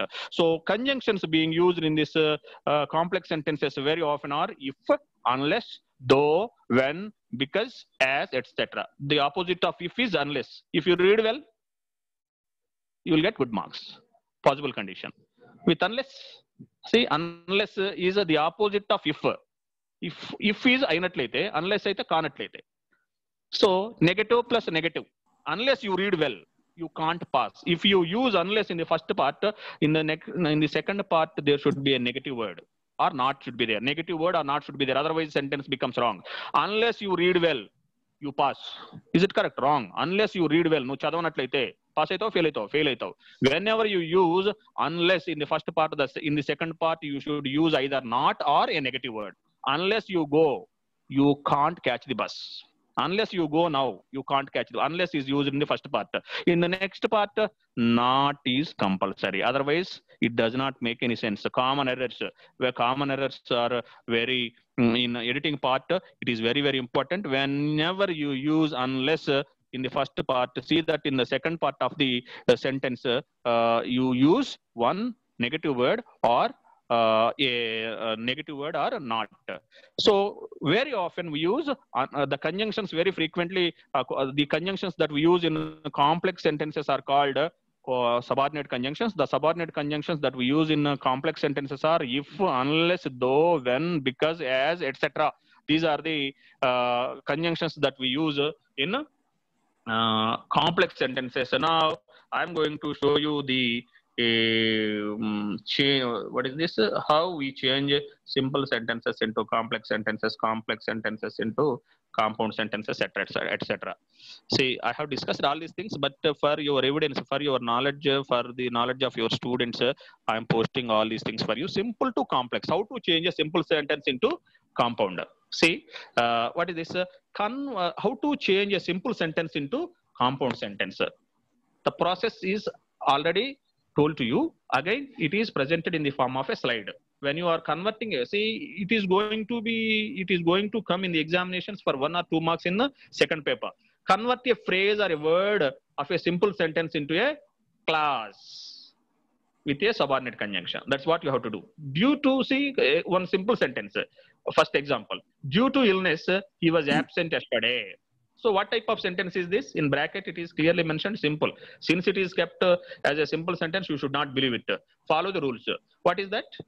Uh, what is the, what is the definition of a simple sentence? In a simple sentence there should be only one subject and one predicate. As per that definition let's uh, uh, analyze the sentence. Analysis. Synthesis is over. Now we are doing the analysis. He is the subject was is the verb. What is absent? Adjective. So uh, sorry uh, he was absent yesterday. So due to illness he was absent. What type of sentence is this? It's a simple sentence because here we have got only one subject and one verb here. That's why it is a simple sentence. Or in other words one subject with one predicate is a simple sentence. Good. Now uh, how to uh, how to change this sentence into uh, a compound one? How to change the sentence into a compound i have already mentioned the process. To change a simple sentence into a compound to change a simple sentence into a compound convert a phrase or the main word of the simple sentence into a clause. That is what you have to do. So what is the phrase used? The main word or phrase? What is the phrase used here? Due to illness. Now what should you do? You should change this phrase into a class you should change this phrase into a clause. What is a class in a class there should be a, say when you are combining other than simple sentences in complex and compound sentences we will have more than one subject and more than one predicate. So that uh, due to illness who was ill he was ill. So that the subject uh, of the first part is going to become he. So what is the tense of uh, the given sentence? Past tense. Was absent. So was is indicating that the action is uh, it is talking about past action. So that you should use uh, past form again. So the past be form uh, past b forms are was were. So in uh, for singulars we use was. For plurals we use were. So it as he is a singular we use was ఎక్కడి నుంచి వచ్చిందండి was నేను ఎక్కడి నుంచి తీసుకురాలే? Second part నుంచి తీసుకొచ్చిన. ఎందుకు? తెలుగులో మాట్లాడుతున్నాం. అర్థం కావాలని బాగా. ఎక్కడి నుంచి వచ్చింది వజ్ నా నేను did it did I bring it from the air no in the second part, I have to use the same tense as used in the second part. In the second part, the past tense is there. When I am writing, uh, uh when I am changing the phrase into a class, I should use the same tense. The tense of uh, the sentence seems to be past tense, so that I should use past tense. What type of thing is there? Illness, illness an action, undatam. Undatam, but we should use the be forms only. The past tense, the be forms of the past tense are was were. So that with singulars we use was with plurals we use were ఇక్కడ due to he did he to అట్లాంటివి ఏమైనా వస్తాయా? ఇక్కడ we are talking about illness it is ఉండటం. అనారోగ్యంగా ఉన్నారంటామా? అనారోగ్యం చేశారంటామా? అనారోగ్యంగా ఉండటం. ఉండటం అంటే వజ్ వర్ గతంలో. So that he was ill he was ill be forms తర్వాత నౌన్ ఫార్మ్స్ రావు. Sorry be remember it we don't use b form uh, noun forms after b form so that we use adjectives or adverbs was is b action verb so that we are not going to use uh, he was illness and అంటే అది బ- దరిద్రంగా ఉంటుంది English we don't use illness because illness is అతను అనారోగ్యంగా ఉండినాడు అనారోగ్యంగా so we are talking about the state of the subject the word or words the talk about the that describe the subjects are nouns are called adjectives so the adjective form of illness is ill i am i did not do anything here whatever the things are there here i have uh, bra- bra- i have uh, analyzed that's all he was ill second part uh, i did not change he was ill this was the thing what has happened అనారోగ్యంగా ఉండినాడు కాబట్టి స్కూల్కి వెళ్ళలేదు కాబట్టి అంటే ఇంగ్లీష్లో ఏమంటారు so So that main class, main class. A combination of two main classes is nothing but a compound. మీకు ఎగ్జామ్లో అడగడండి. Write the sentence into compound అన్నారు బట్ దాన్ని అండర్లైన్ పార్ట్ ఏముంటుందంటే due to illness he was absent yesterday that is the underline part they ask you to rewrite the sentence he dash అంటాడు. He was dash అంటాడా? అసలు was నేనైతే if I set the question paper I don't put was if I put the tense what is he going to do I don't give the tense even he has to identify the tense also he dash I give if others give he was ill what is there to write? Nothing. He dash some people even give he was uh, you, I, actually we should not um, mention the tense. He dash so that uh, uh, as we have started the sentence with one more subject we are going to in the first sentence a simple sentence is there. Again they started the rewriting uh, we are asked to rewrite the sentence with one more subject so that we may have to write a complex and uh, complex or compound sentence. Generally we begin the subject if the sentence starts with a subject that is going to be a compound sentence. In complex sentences as i have already told you know one simple technique in complex sentences very often sentences start with conjunctions in compound sentences conjunctions come in the middle so that with this knowledge అంటే అట్లా compulsory కావాలని ఏమి ఉండదండి. అట్లా ఏం లేదు. But it helps you little bit English వస్తే goal లేదు. రాని వాడి కోసం టెక్నిక్స్ ఇవన్నీ పిల్లల కోసం. So that it is a compound sentence he was ill so he was absent yesterday so simple sentence is change to a compound sentence what did I do the phrase due to illness black కలర్లో చూడండి. Due to illness has been change to a clause clause means there should be subject and there should be verb the subject is he so that's why again I use the same subject the tense of the sentence is past tense so that I used tense and uh, type of verb. Type of verb is be form and tense is past tense. So that uh, type of verb past tense in the past tense for be forms we use was were. So that's why as he is singular i used was. For plurals i used we use were. So that uh, it is rather easy. After be forms we don't use noun forms. So that's the rule. Now let's see the other thing. Mm, only uh, Dastagiri sir should i stop or should i continue sir. Jagdish Anna, congratulations. All the participants are very interesting to listen your class continuously. So please Okay. take, uh, please take other uh, 15 minutes, more 15 minutes. Hello. Okay, just uh, sir, sir. Participants are giving, uh, sending messages to continue your class.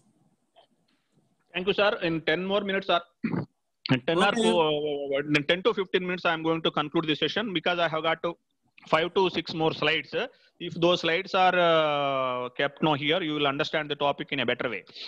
Okay, right. okay. proceed. Okay, Proceed. sir. No, okay. Uh, uh, now, simple into this is, this is over already, right? Mm. Okay, one more slide I'm going to post here. That is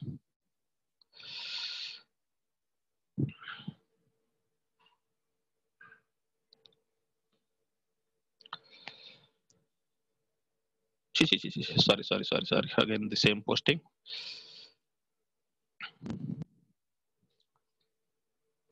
Just a minute, sir. Please have patience because uh, I don't have computer. Right. Right, sir. Now, simple to complex. How simple to compound that is over. How to change a sentence from simple to complex? How to change a sentence from simple to complex? This is the process. Simple to complex, the word or phrase of the simple sentence is changed into a subordinate clause. In the pre- previous, the word or phrase of a simple sentence is made into a compound main clause. Here, in a, when you are changing a uh, simple sentence into a complex sentence, the word or phrase of the simple sentence is going to be changed into a subordinate clause. So complex sentence is nothing but combination of main clause plus subclass. Here, the word or phrase of a simple sentence is to be changed into a subordinate clause. You see now, in spite of the pandemic situation, in spite of the pandemic situation, some people are roaming freely. Yes, it is happening everywhere now. In spite of the pandemic situation, some people are roaming freely. What type of sentence is this? Don't look at the title and uh, you try to uh, identify the t- class, type of sentence. What type of sentence is this? It's a simple sentence. Why? It's uh, easy to say because only one subject is there and only one predicate is there. In the first part, you see in that uh, green color, in spite of the pandemic situation, there are four, five, six, seven, six words are there, or six or seven words are there. But uh, you see, words uh, there are more many words are there but uh, in that group uh, you don't have the subject you don't have the verb also. No subject no verb. No subject and no verb uh, it is nothing but a phrase. It's a phrase. See some people are roaming freely. What is the subject? What is the subject here? Some people is nothing but the subject. We are talking about some people that's why it is subject are roaming freely. The verb is are roaming are roaming So only one subject is there and one predicate is there. If there is only one subject and one predicate in a sentence, that is called uh, a simple sentence. A simple sentence, right? So, as I have already told you, know, simple sentences are not simple to use. Actually, simple sentences are difficult to use. Name is simple. Doesn't it, the name is given simple the name is kept as simple. The reason is that only one subject is there one predicate is there. Because of that reason it is called simple sentence. Don't think that simple sentences are easy to write. No. Simple sentences are when you are converting other sentences into simple no. Actually simple sentences are very difficult not the complex or not, not the compound. So, in spite of the pandemic situations, children get dazed to look at uh, certain situations, such uh, expressions. Uh, nothing is there. These, in spite of the pandemic situation, maybe there, maybe four, five, six words, maybe there. But uh, all those four, five, six words give only one meaning. Antu వ్యాధుల పరిస్థితుల That's it combination of six or seven words. See, maybe see English when you are learning English, no, you should you and your students should know one thing. Sometimes words meanings. Sometimes words words phrases or clauses give meaning. Very often, see noun phrases we have, verb phrases we have. In tenth class we have got so many things. Look into is there. Look into into into low low It's not like that. See, when we join words together, they lose their. When we join words, the, the collection, when it becomes a collection, no, the words which are joined, no, they lose their independent meaning. They lose their independent meaning and altogether they give new meaning that is what the students should know very often students do not understand that concept sometimes words give meaning sometimes uh, single words uh, for example work means panjayatam clear darshanam but uh, look into take care of these things see students should know that uh, when we join words together no they lose their original meanings when they are joined no collectively they get a new meaning so in spite of the pandemic situation it is a phrase in spite of the pandemic situation when you are talking about అయినప్పటికీ అనేటప్పుడు generally we use the preposition uh, sorry uh, phrase in spite of In spite of or despite in spite of మనకి tenth class nine స్టార్టింగ్లోనే ఉంది. Despite his handicap he became a pioneer of software industry or బికా despite his poverty he became a pioneer of software industry Narayana Murthy despite one ఎడిటింగ్లో చాలా సార్లు వస్తుంది అనేది despite is not followed by of but in in spite of in spite of is equal to despite. Both are the same. But in the, when we are asked to edit the paragraph they give off soon after the despite also. Be careful that we should not use after despite. In spite of the pandemic situation it is a phrase that's all. So some people are roaming seems to be very big sentence but it actually it is a simple sentence because only one subject is there and one predicate is there. And how to change the simple sentence into a compl- complex one? See the phrase has to be changed into a subordinate clause. What is the phrase here? In spite of the pandemic situation. So you have to make the sentence here. Two separate things are there. In one way, we are talking about pandemic situation. In another way, we are talking about people roaming. So that uh, in the first sentence, make pandemic situation as the subject. Make pandemic situation as the subject. You see, though it is roaming freely, some people are roaming freely. In the second part, the subject is some people. And in the second part, uh, first part, what is the actual subject? Here it seems to be, it is the subject, but the actual subject is a pandemic situation. But uh, the impersonal pronoun is it. The impersonal pronoun, you see, it is raining, we say. It is raining. What is the subject?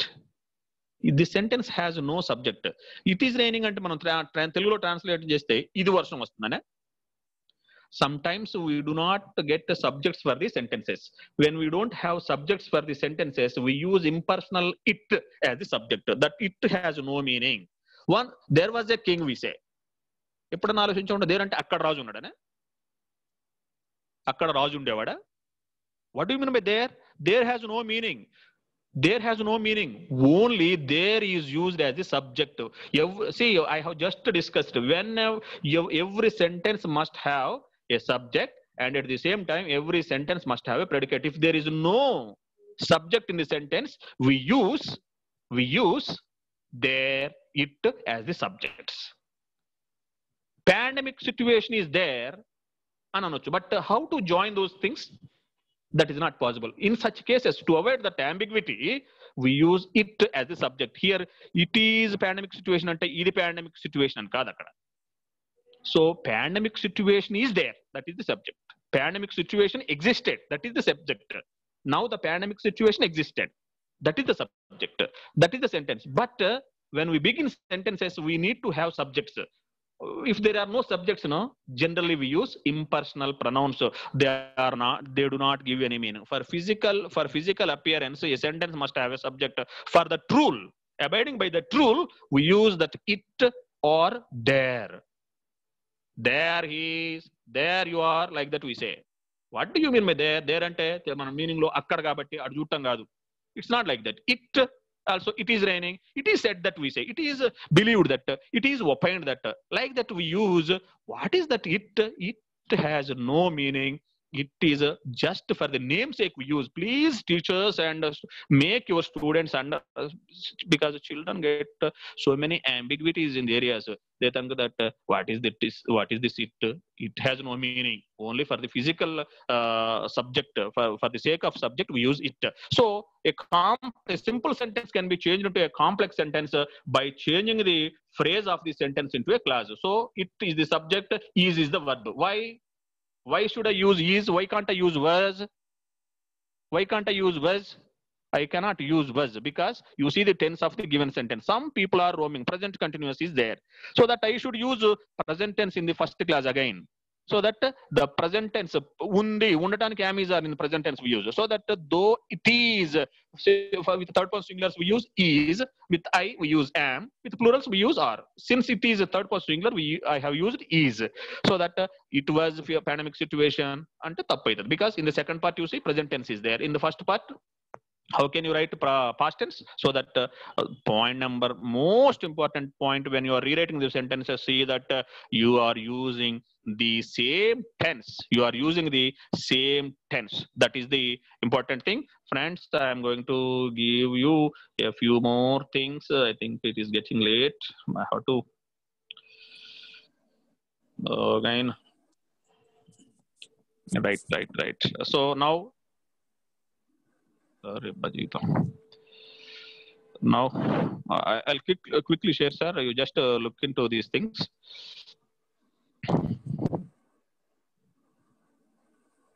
Jagdish, Sir, hello. sir, sir. Uh, you can conclude within 10 minutes or 5 minutes.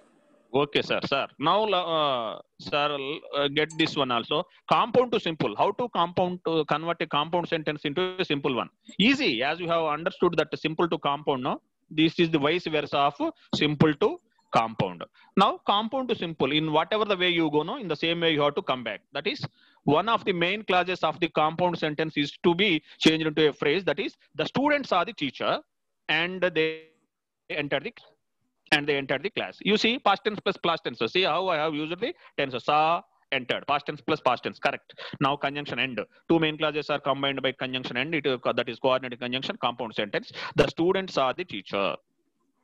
That is the sub main class. Second part. Generally, whenever you are changing a compound sentence into simple sentence or complex sentence, what is the clause we change? First class generally. We don't touch the second one. So the students are the teacher we are talking about the same subject. So when you are changing a compound sentence into a simple sentence, what should you do?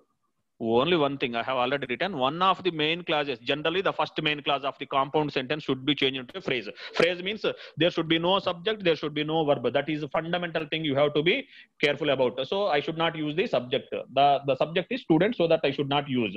On seeing the teacher, the students enter the class. See, there is no subject, there is no verb here. Do you think that that seeing is verb?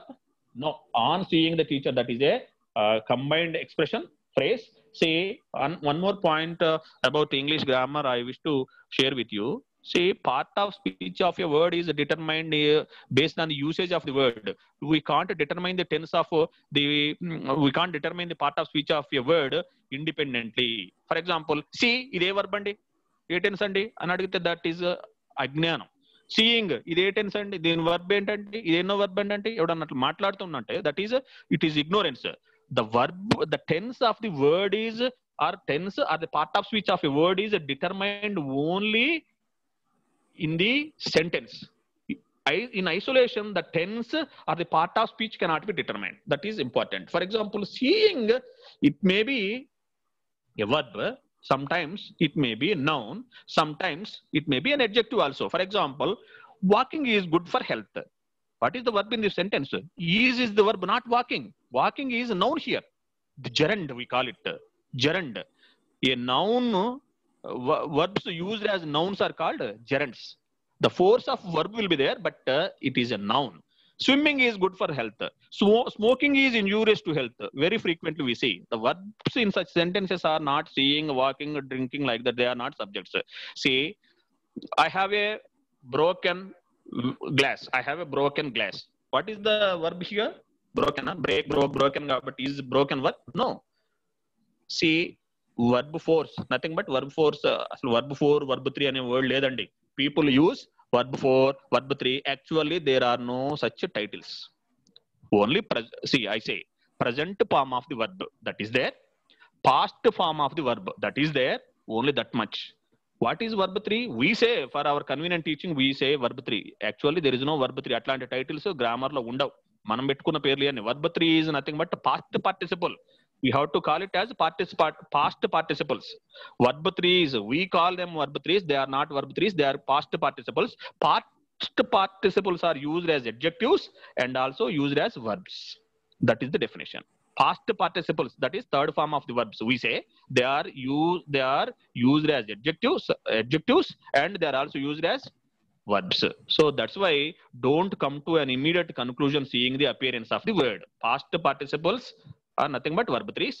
Present participle, ing form of the words, no, they are called present participles. They are not verb fours.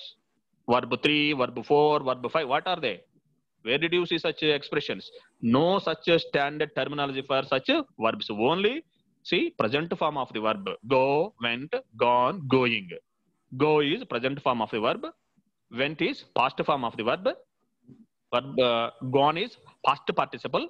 Going is present participle and also they are not always verbs. They are neither verbs they are nor nouns. They are neither nor adjectives also. How who are you to determine the part of speech of those words? You can determine the part of speech of those words uh, only based on their usage. Only based on their usage. Friends to convert a uh, what is that? Compound sentence into a simple sentence uh, what we do is the main clause of uh, compound sentence. The first main clause of the compound sentences is changed into a phrase so that uh, for example the thief saw the police and he ran away. The thief saw the police and he ran away. That is another example i am giving now. Change this one into a simple one. What should you do? The first part should be changed into a phrase. Second part should be retained. Don't touch the second part. The thief saw the police and he ran Okay. away. Uh, when, when, when you are when you are joining these two things uh, we should uh, when you are making those two things into a single one, we should avoid the conjunction and also. So the thieves are the police. Sashi... Oh. Sir, hello. please keep it. One of you is talking. Sir. Hello, okay. hello, sir. Hello. Sir. Jagadish Garu. Yes, sir. Jagadish Garu. Sir, are you completed or not? Yes, sir. Okay, okay. I'm, sir, it, it's over sir, now now Sir, Over. uh, so this is uh, okay, sir. Uh, actually, I need 10 more minutes time, but it seems that it is going to be very late. I, I'll post all these things for you in the WhatsApp group. I will post all these things Okay, for you in the WhatsApp group later.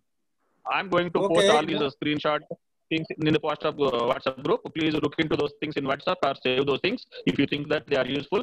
Now, uh, this is the end of the session. Uh, uh, sir, please, uh, I'm going to reflect on the Paris. Please ask the question. Okay, excellent. Jagadish Garu, excellent. Your presentation is excellent. Okay. Now I request Mr. Thank M. You, Balu. M. Balu Garu, okay. have you sorted out sir. your uh, uh, uh, questions in chat box? Okay, okay, Please sir. Okay, ask sir. them. Okay, Please sir. Read, re read them. Ah. Okay, sir. Good evening, sir. Good evening, everybody. next speaker dio sir. And technical coordinator Nagara Segar, sir. Program coordinator Dastagiri Sheikh, sir. And today's RP, jaydeep sir. Very good, uh, sir. We are very happy to be here. A very excellent uh, explanation, sir. Now I am going to uh, raise some questions uh, behalf of uh, participants, sir. What they Okay, are sir. posted You're in chat box. Okay, sir. The first question asked by uh, Babu Rao. The question is, uh, can't we speak without grammar? Sir, we can, we can, but uh, it is not acceptable. If Barbara, the, sir. if the Oh.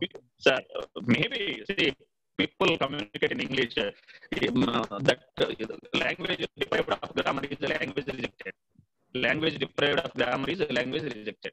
See, sir, I you go come eat. eat. What is this? Uh, Don't you understand? I you go hotel eat. Don't you understand? You can understand, but you do. Do you like this English? Definitely, I you go hotel eat Okay, you may make the words, but uh, if they do not, as teachers of English, uh, if others let them speak. uh, We, we should not discourage. As teachers, since we are teachers of English language, no, we should see that we are good at grammar. Right. Okay, sir.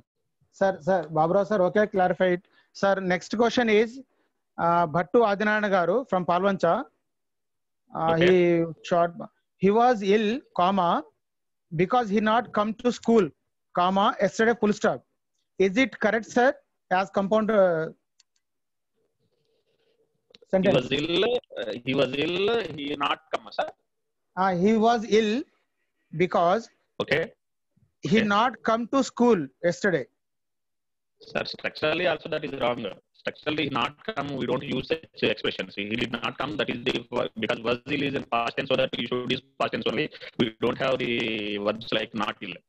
So that is wrong, sir. And Okay, no need to put comma before yesterday. Right. Okay, sir. Sir, next question is uh, Satish Morishetty garu.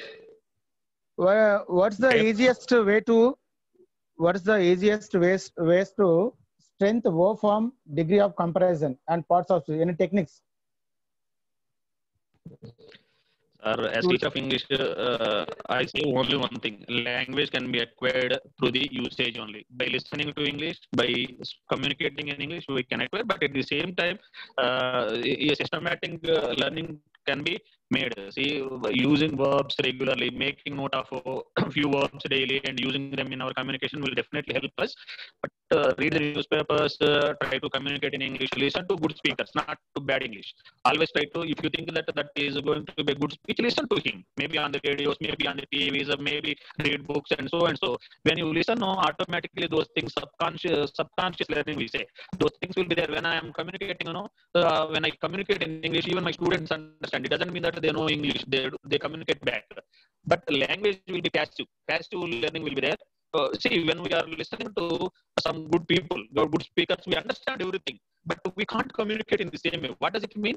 The passive, the, the words or the expressions are there even in us also, but because we are not using, no, they do not come to our tongue. That is the only difference. But we have to use. We have to use. Sir, Padmalata Right, madam, Sir. uh, she send a chat box. Anyhow, uh, we have to make students familiar of verb forms at sixth, seventh class itself, isn't it? Okay. Yeah. Why not, sir? Definitely. Okay, What sir. happens? Sir, See, what be the what be what be the heart of the language? What be the Sir. heart of the language? That uh, no verb means no language. Subject and verbs are two things are whenever you are making sentences, I repeat, uh, to my students are to uh, when I teach uh, English to anyone, I, I I insist on only two things. Maybe I don't say that my English is correct. I don't say that your English is correct. We are all we all go wrong because English is not our mother tongue. It's a parallel language. We are learning it. But other thing is that no, if you want to see that your English is good, follow two things. Your sentence has got a subject, and you are making you are using a verb it. If you use those two things, no, partially your English is correct. Fifty percent it is right. Fifty percent, fifty percent. I am I am you. You use the subject and verb it. You are fifty percent correct. Don't hesitate to communicate in English as long as you follow this rule. Subject is followed with verb in a set of sentences. You are correct partially. Grammatical tense may be wrong, word order may be wrong, adjective may be, a part of speech may be wrong. Maybe they are negligible things. When you are learning, these things happen. Yes, but uh, see that uh, uh, subject and verb are mandatory for learning. Right. Sir, another question uh, raised uh, uh, from Srinivas Garu. Why don't we use because of to instead of due to? Why don't we use because of to instead of due to? Why not? You can, sir. You know, sir, you can use because of, uh, due to, going to, uh, definitely because of is also phrase. Why not? Because of illness, he did not come to school yesterday. You are 100% correct. I don't say that you should use only due to. When you are introducing reason, you can use due to, you can use going to, you can use because of, you know, sir, you can use comfortable, you can use. No problem. Okay, sir. Next, uh, my question is, uh, can we use bilingual method in classroom situation? In rem- yeah, Some okay. tribal areas, remote areas, uh, we can face in that problem, sir. sir. Uh, sir, Yeah, uh, sir. Uh, see, sir, it is a philosophy supported by many eminent scholars. Who am I to oppose it? See, I, I was a student of government schools. I too studied in government uh, schools and up to 10th class. So I listen, we we learned uh, English particularly in that only. But uh, see, but uh, you see, uh, one, uh, one thing that is definite, I don't uh, uh, deny it. But the other, you know, uh, when we listen, how- when we listen to English continuously uh, over a period of time, unknowingly we acquire some words. Unknowingly we acquire some words. So, for example, uh, take one day from morning to evening, sir, you go on listening to English one day from tomorrow onwards. Uh, maybe, maybe with your maybe with your children go on communicating in English. But one day, the next day you see the difference. Some words will be with you. Some words will be with you. So that uh, one thing uh, mainly what is happening in our schools, no, students are not getting exposure to English. So to learn English, exposure is important.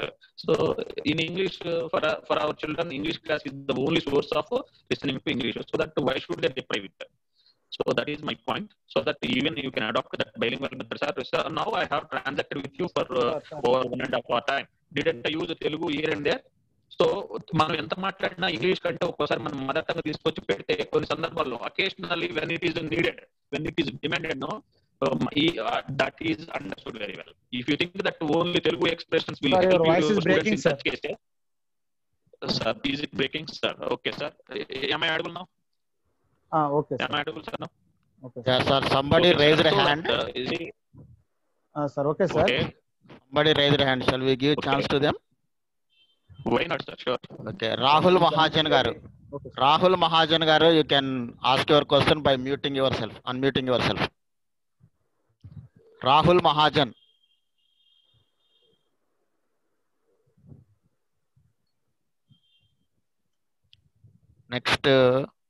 uh. Yes, you can speak, madam. Sir, good evening, sir. Thank you for your excellent uh, class. sir. Madam, madam, madam, give, It's a- give your mic a little, a little uh, away from your mouth. Uh, okay, sir. Madam, it is Ah, okay. okay. Okay, okay. Uh, uh, communicate, madam. Sir, is it, is it audible, sir? Yeah, Yeah, no. but it Is is. it audible, sir? Yeah, it is Yeah, no. audible, madam, but keep the mic a, a bit away from your mouth. Right. Ah, okay, sir. Okay, okay, madam. Okay, is it audible, sir? Uh, verb forms and that we have to make them clear, sir, first of all. Present tense, past tense, and past participle. And what type of uh, exercise can we use, sir? Uh, uh, whether uh, orally or uh, written uh, forms. Please, can you explain, sir? In, in either way, madam. For example, if you see our textbook, uh, madam, for example, we have been teaching uh, for all the students of 6th to 10th classes. You see our textbooks, for example, journey is the uh, unit, uh, narrative. We have in unit number three. See the usage of past tense in that one. See all the narrator talks about all those things completed. For example, you talk, you see the the storied house. The usage of past tense. Uh, when I when I teach my students, uh, uh, when I expose my students to English, no, I make them underline the verbs of all sentences, and I make them underline the verbs of all the sentences given in the paragraph. The narrator came home for a purpose. He stayed at home for six months. He got married, uh, and he wanted to go. He, he his mother, his father came forward. See all these sentences. In all those sentences, I have used past tense. So if they follow that one, when you are talking about all those completed actions, you should past tense. If you make them understand that point, make them underline all those verbs used in the sentence. So that maybe what means it may be a single word. Sometimes a phrase may be verb phrase may be there. Helping verbs or auxiliary verbs may be there. But uh, you, you make them look at the verbs uh, in the given paragraph so that they will understand, madam. Sir, Thank you, sir. Madam. What are the questions are there, sir? Are there Sir, any other uh, questions? with permission of Nagaraj Shekhar sir. Sir. Nagaraj Shekhar sir, with permission. Sir, Dastagir sir, can I ask any question to the judges sir? Rahul Mahajan raised hand, Ah, Okay sir, okay sir. uh, but he is not responding. Ah, okay, Rahul Mahajan. Ah, okay, Rahul Mahajan, you can speak. Uh, sir, Jagdish sir. Sir, Good, e- sir, good evening, sir. good evening, sir. Sir, good evening.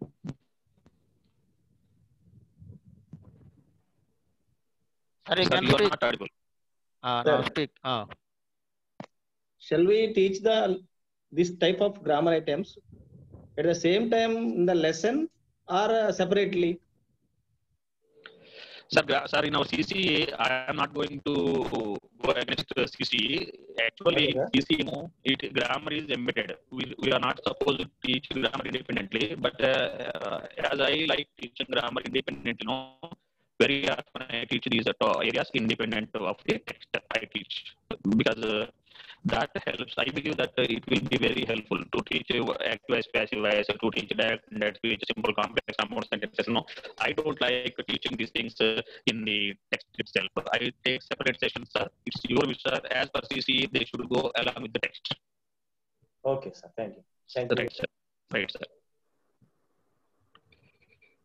okay, uh, Dastagir sir. Now it's your turn. Sir, good evening. Uh, now, interaction, session already completed. And I request Mr. Mira Hussain, sir, please be unmute him, first of all. Audio and uh, video. Mira Hussain, coordinator, overall coordinator. Rajshekar, sir. Yes, he can now. Now he can. Hello. Uh, Mira Hussain, sir. Sir, He is not visible. hello. Ah, sir. Ah, he is not visible. He is not visible. Please unmute Sir. video. Ah, okay, Uh, sir. video, video. Uh, okay. Sir, good Please, evening, sir. I request Mi- Mira Hussain, sir, please, uh, please uh, conclude today's session. Okay, sir. Okay, sir. And what are thanks? And what are thanks? Okay, sir. Good evening, my dear colleagues. Today, Jagdish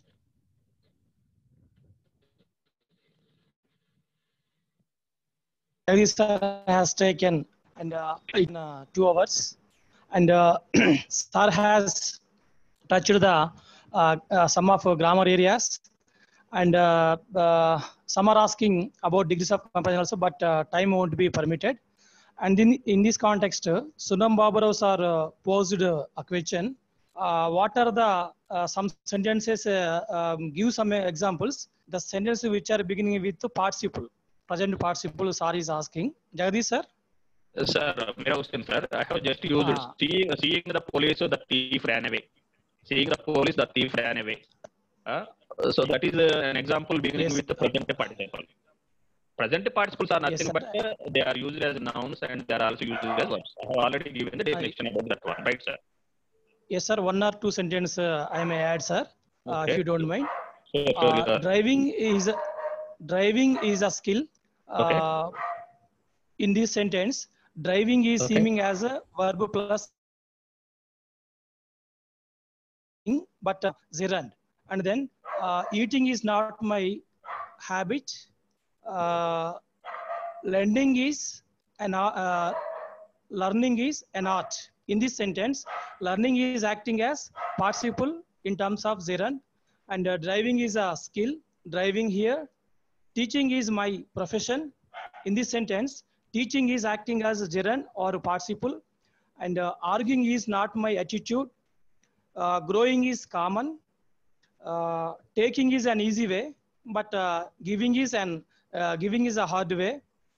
Laughing is her style. On seeing the teacher, the students were uh, silent. While we observe all these sentences, the sentences starting with participle.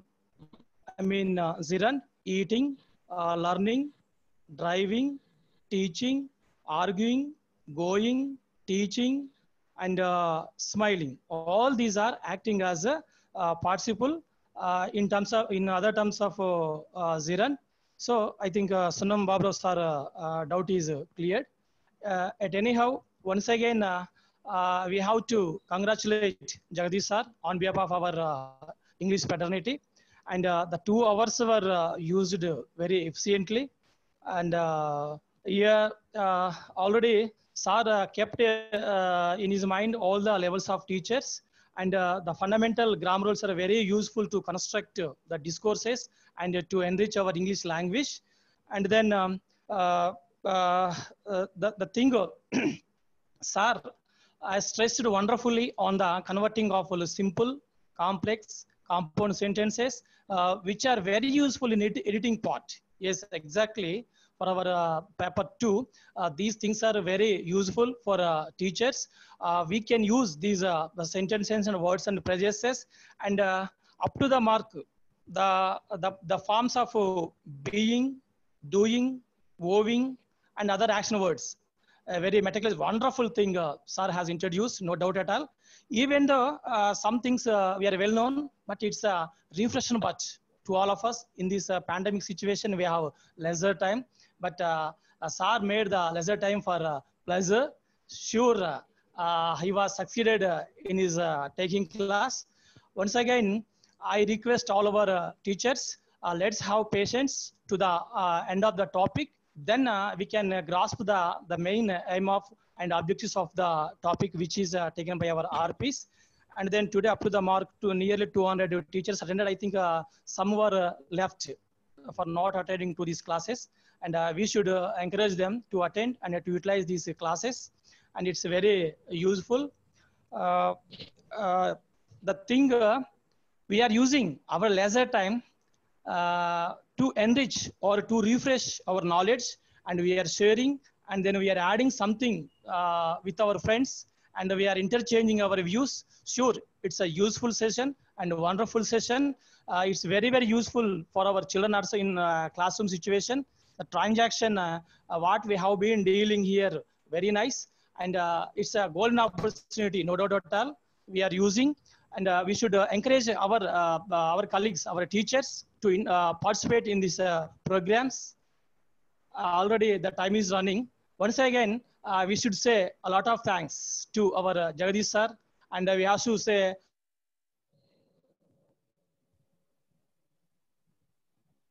to say uh, particular and uh, privilege uh, thanks to our Dastagiri sir, the coordinator of uh, Bhadradri uh, Kothagudem Khammam District.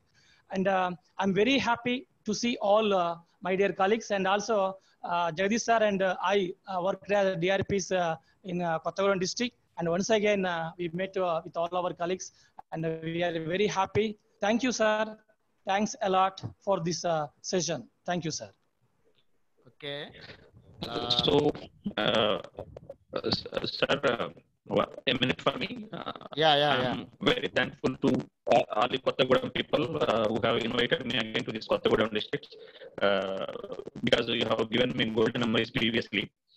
I have worked with you for so many years, but uh, because of that bifurcation, I lost the opportunity to meet you again. But uh, the Kothagudem people, because especially Dastagiri sir, has called me to take one session for you, sir. Sir, though we are bifurcated, you did not forget us. So we, uh, we are always helpful to you. Physically, we may have got that bifurcation. Still, our uh, hearts are together. We are always, uh, don't think that we are Khammam people. Don't think that we are Kothagudem people. We are all friends, brothers. We are always here to help you. You are also come forward whenever we need your assistance. Let's work together, sir. Thank you. A big thank you to all the Kothagudem people, or the DO sir, Nagar sir, and all the other people who have been uh, taking an active role uh, in conducting this uh, enrichment program. And definitely in the future also, we are, uh, we are here to extend our uh, help whenever you need it, sir. Thank you so much for your warm welcome.